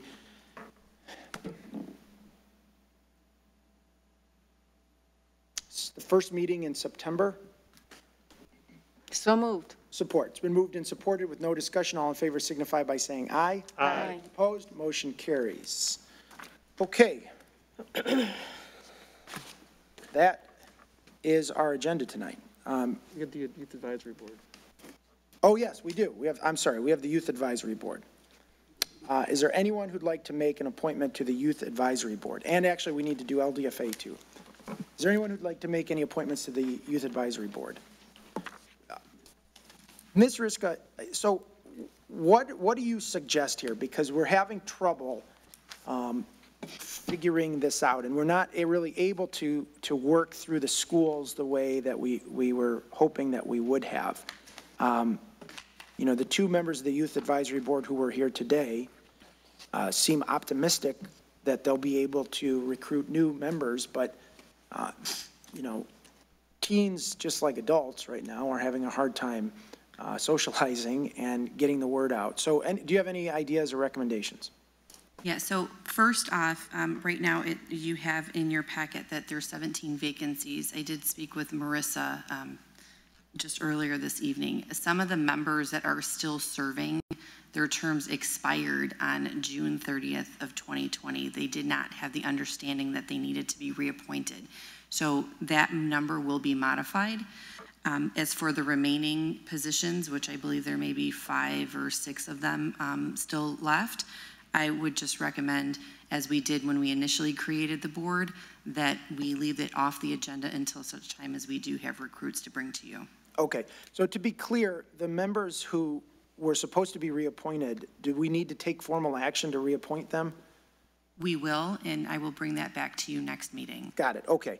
So um, why don't we, um, why don't we do that? How did we phrase that last time? It was, a. do you remember, it was like a motion to, uh, to postpone indefinitely? Would that work? Mayor Taylor? Mrs. Schmidt? I'm sorry to interrupt you. I have reached out to um, Sean Green Beebe, who is the pr- principal at Heritage. She is very confident that once school gets back, she can get some middle schoolers involved in this. So um, that's encouraging to me. Um, She um, is also going to be on our African American Coalition. So, um, you know, I don't know what you want to do. Well, do we have, I think we have a, an age limit of 14 to 18 on this board, right?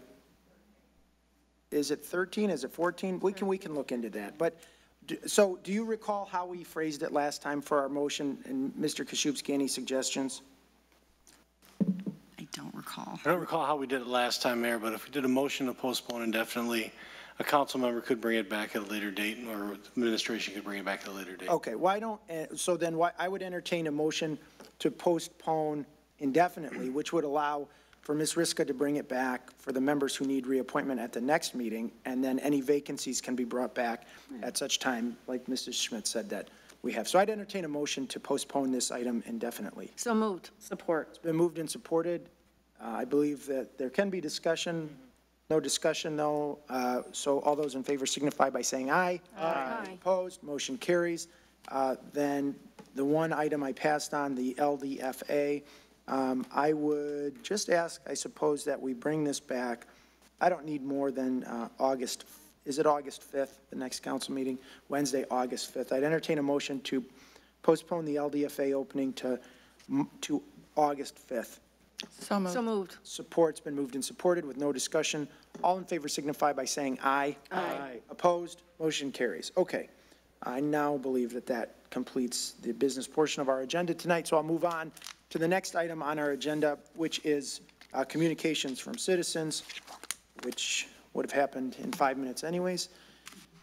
Is there anyone who would like to speak on any item that was not on tonight's agenda? Mr. Jefferson.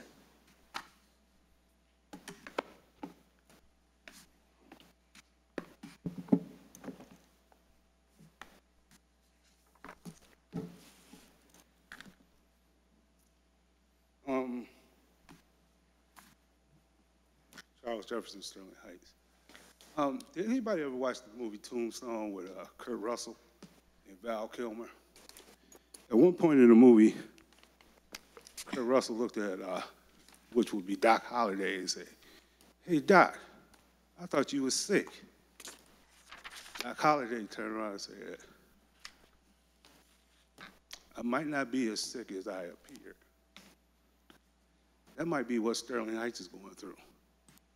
By the attendance here tonight, I don't think we are as sick as people are making us out to be.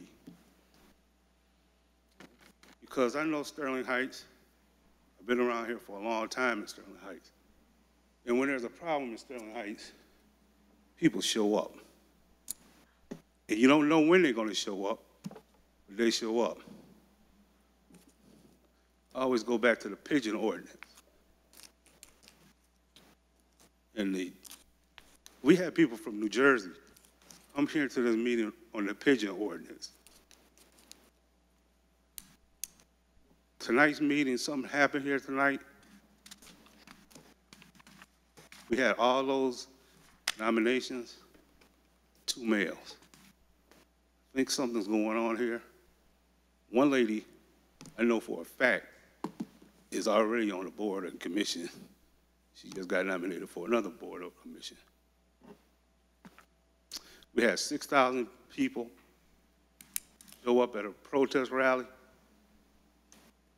A few weeks later, none of them here. Maybe the police department is not as bad as they were trying to make it out to be. People on the Facebook pages, Mike Radtke shows up and tells us that he's no longer interested in putting white people onto boards or commissions or having them to do anything else. Then we speak about diversity. We put two males on all those boards or commissions. Something ain't correct. Something not right here, Sterling Heights. But we still might not be as sick as people trying to make us out to be. Mr. Vanderpool, I got a question for you. Up on Dobry, is just west of Utica Road there by the Marathon Station, the train tracks? um, if you go down, go through there with a pretty good clip, uh, you might wreck your car. Is there any plans on fixing those? The railroad tracks right there, Dobry. Um, Also, Mr. Vanderpool, uh, is there, what, what's the, uh, maintenance plan for the bathrooms in the various parks? Um, is it twice a day, once a day, once a week, once a month? Um, Especially during these times, more people out have to use the, the park restrooms. Um, They need to be taken care of. Uh, Mayor Taylor, I'm here to apologize to you about something. Um, for those that don't know, Mayor Taylor, um, back in the day had a rally for President Obama, against President Obama off on the, the steps of uh, City Hall. It only took him three and a half years to have one against President Trump. So you didn't disappoint me. You flip-flopped just like always. I wish you could stand up sometime and go down one road and one road only. Thank you. Thank you, Mr. Jefferson. Mr. Garapi?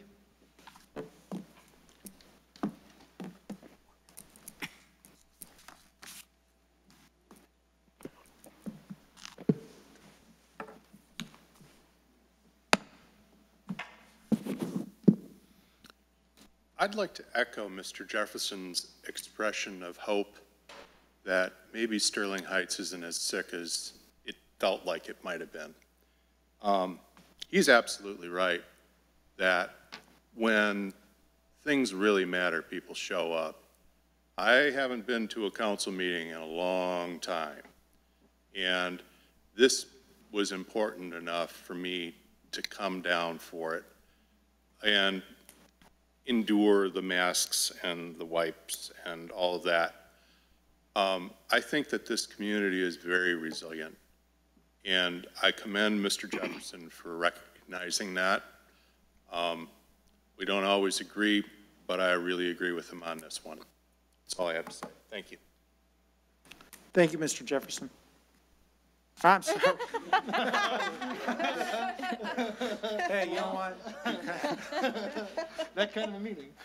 Yeah, my, my, my apologies. Um, Mr. Garapi. Um, Anyone else under communications from citizens? Mr. Matthews?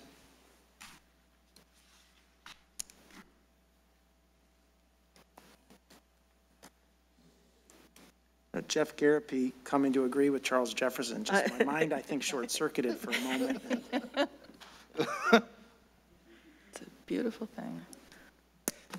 Uh, Good evening, council.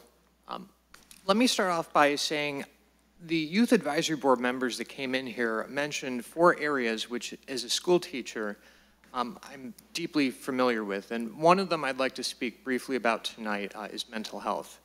Um, Having worked for the past roughly decade or so in education at the high school level, you see the different types of children that come to you with the different types of households from which they come and the various effects that certain circumstances in their life can cause. Uh, lack of parents, um, substance abuse in the household. There's a variety of things that can create a lot of trauma in a child. And although it is the Youth Advisory Board bringing it up under, you know, the guise of this is the issues that teen, teens care about, when they're not teens anymore, it's not like those issues go away. You still have those people with that trauma and those needs who are now young adults in your community. And it would be very, very wise of us to take a look at the concerns they bring representative of their age group because preventing those problems from continuing and helping treat some of the issues or needs that are there can help prevent a bigger problem from growing in the long run.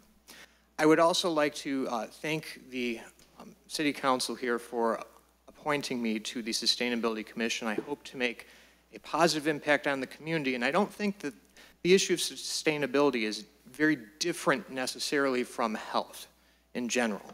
We want our community to be sustainable, not just from um, the standpoint of economics and carbon footprints, but also for people to actually live and have a healthy, flourishing life.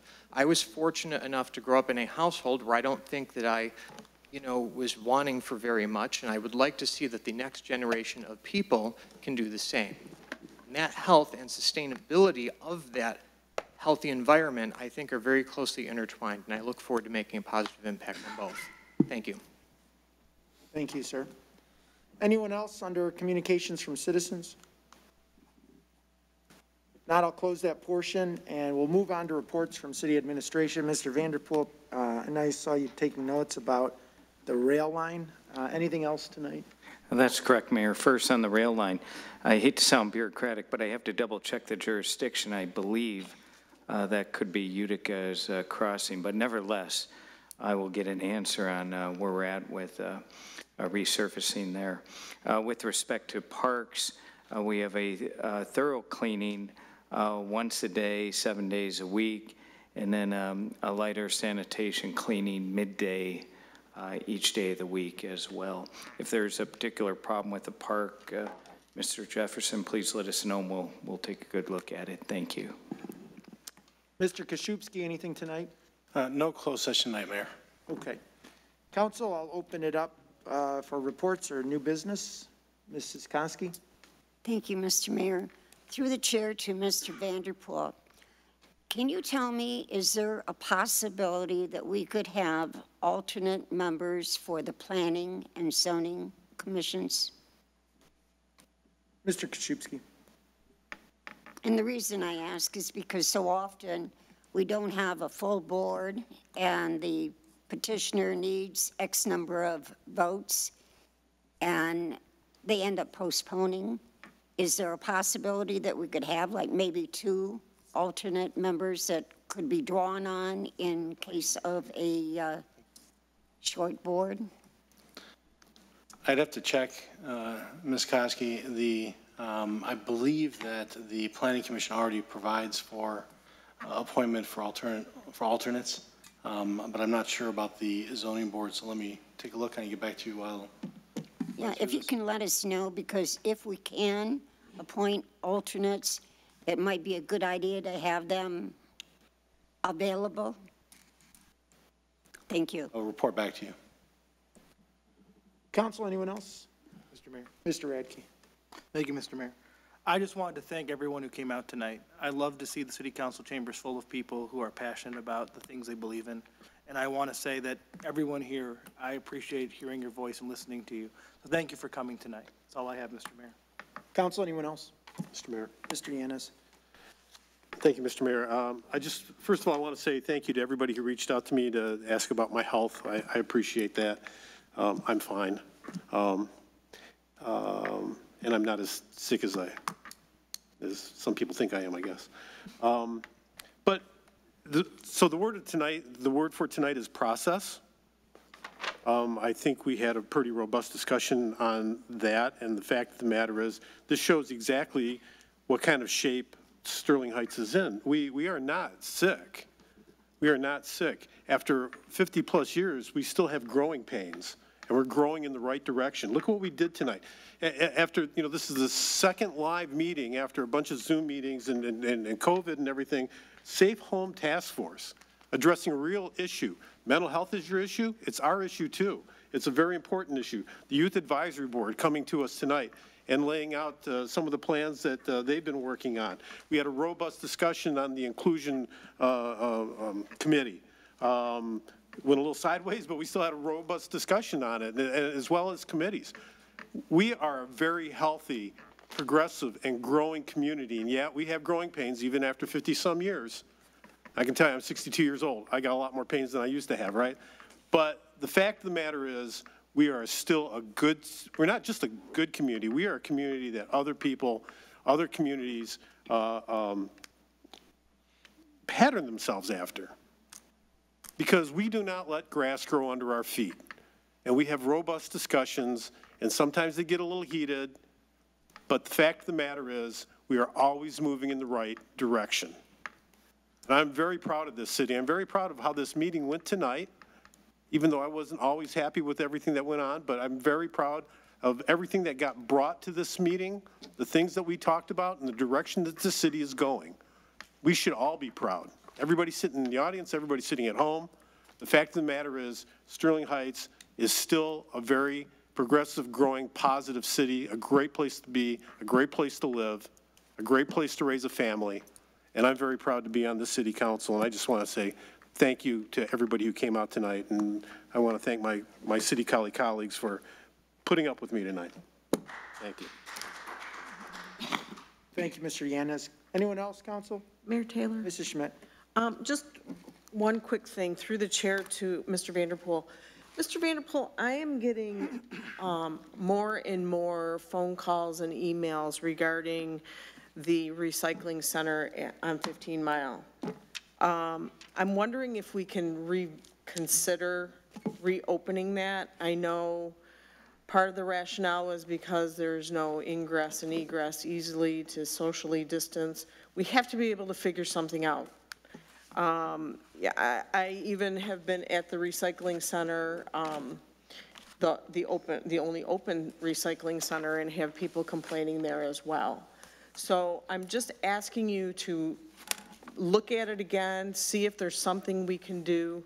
Um, we have a lot of older residents that utilized that center a lot and have been reaching out. So I would like, um, or, or if there's something else planned, then if you could report that back to us as well.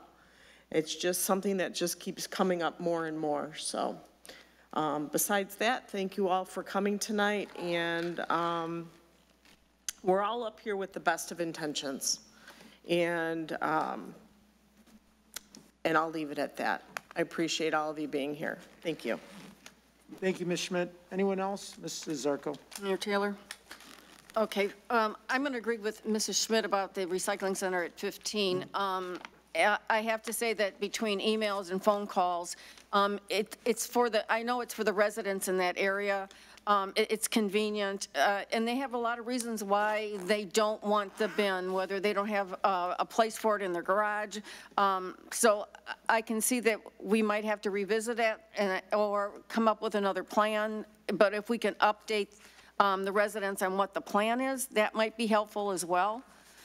Uh, The other thing is, when I was going through some of the lists for uh, the appointments, there are people that have moved out of the city that are still on that list. So I don't know what we need to do to up, the, you know, because there are people that are, if we appointed them, don't even live here anymore.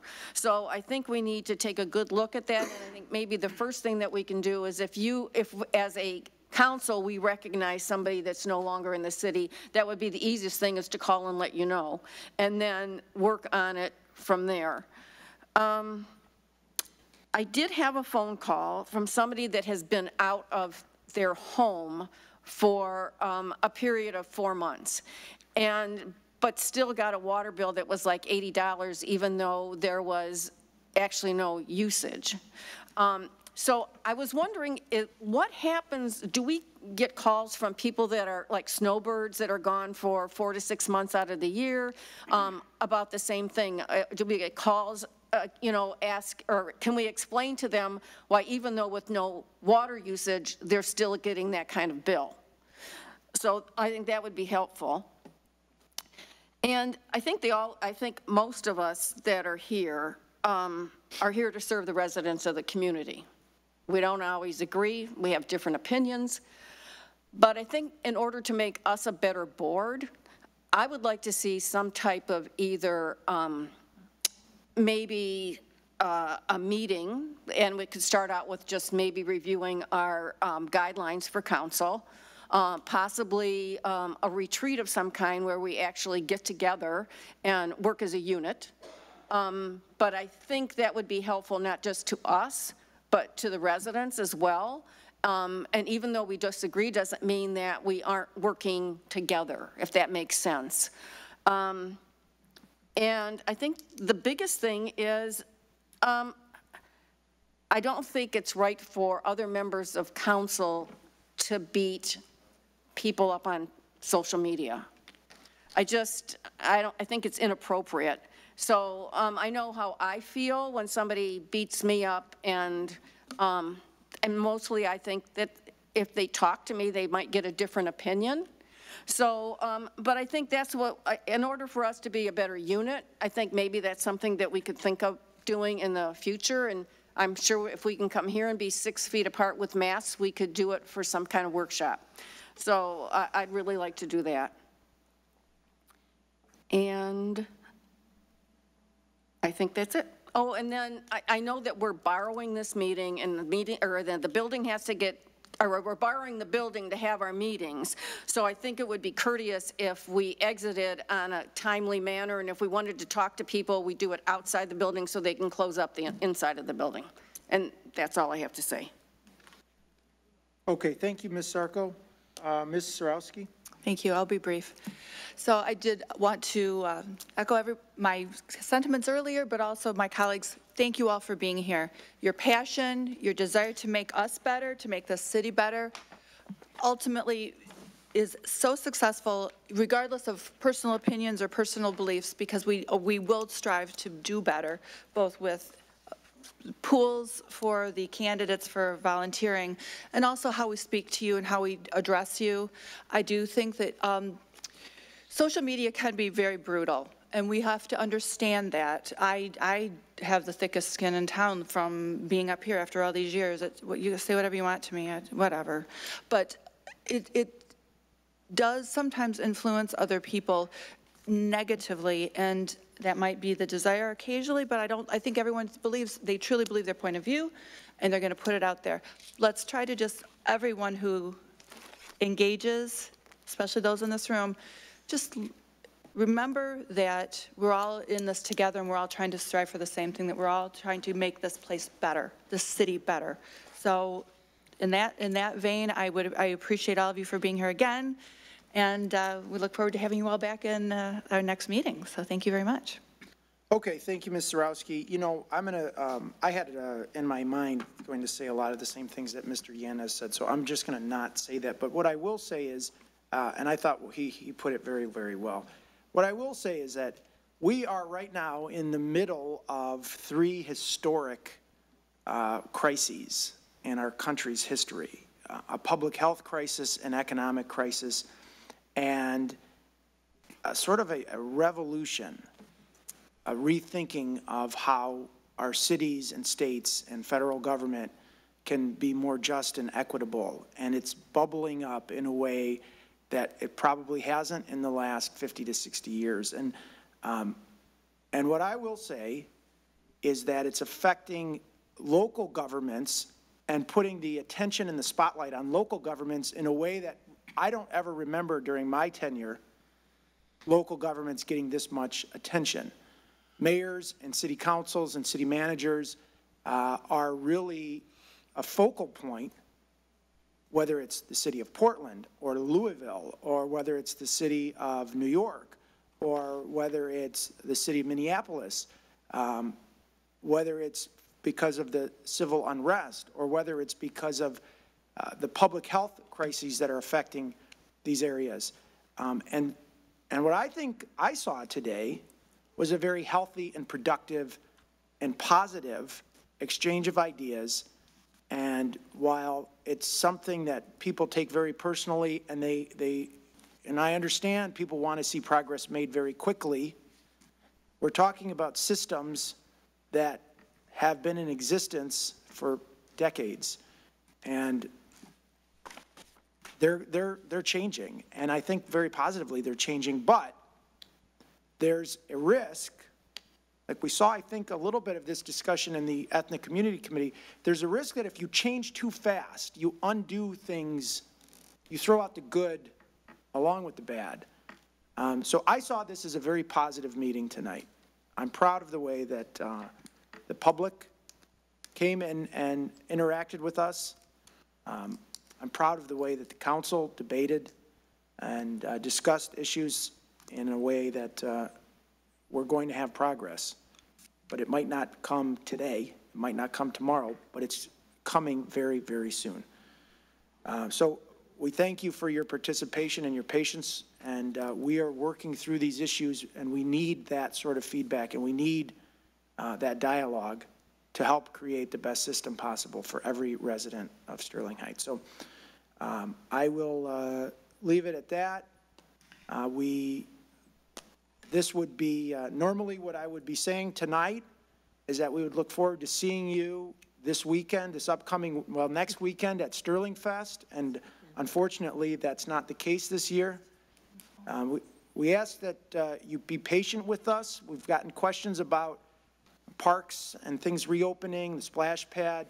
You know, we were hoping that by now, the governor would have moved us into phase five, but that, over the last three or four weeks, we've seen that that's uh, not, not going to happen, probably, uh, well, it didn't happen when we thought it would because of the resurgence of, resurgence of the cases here, so we ask your patience. We appreciate that you are wearing a mask in here. I encourage you to wear a mask out there. Uh, Stay home if you can.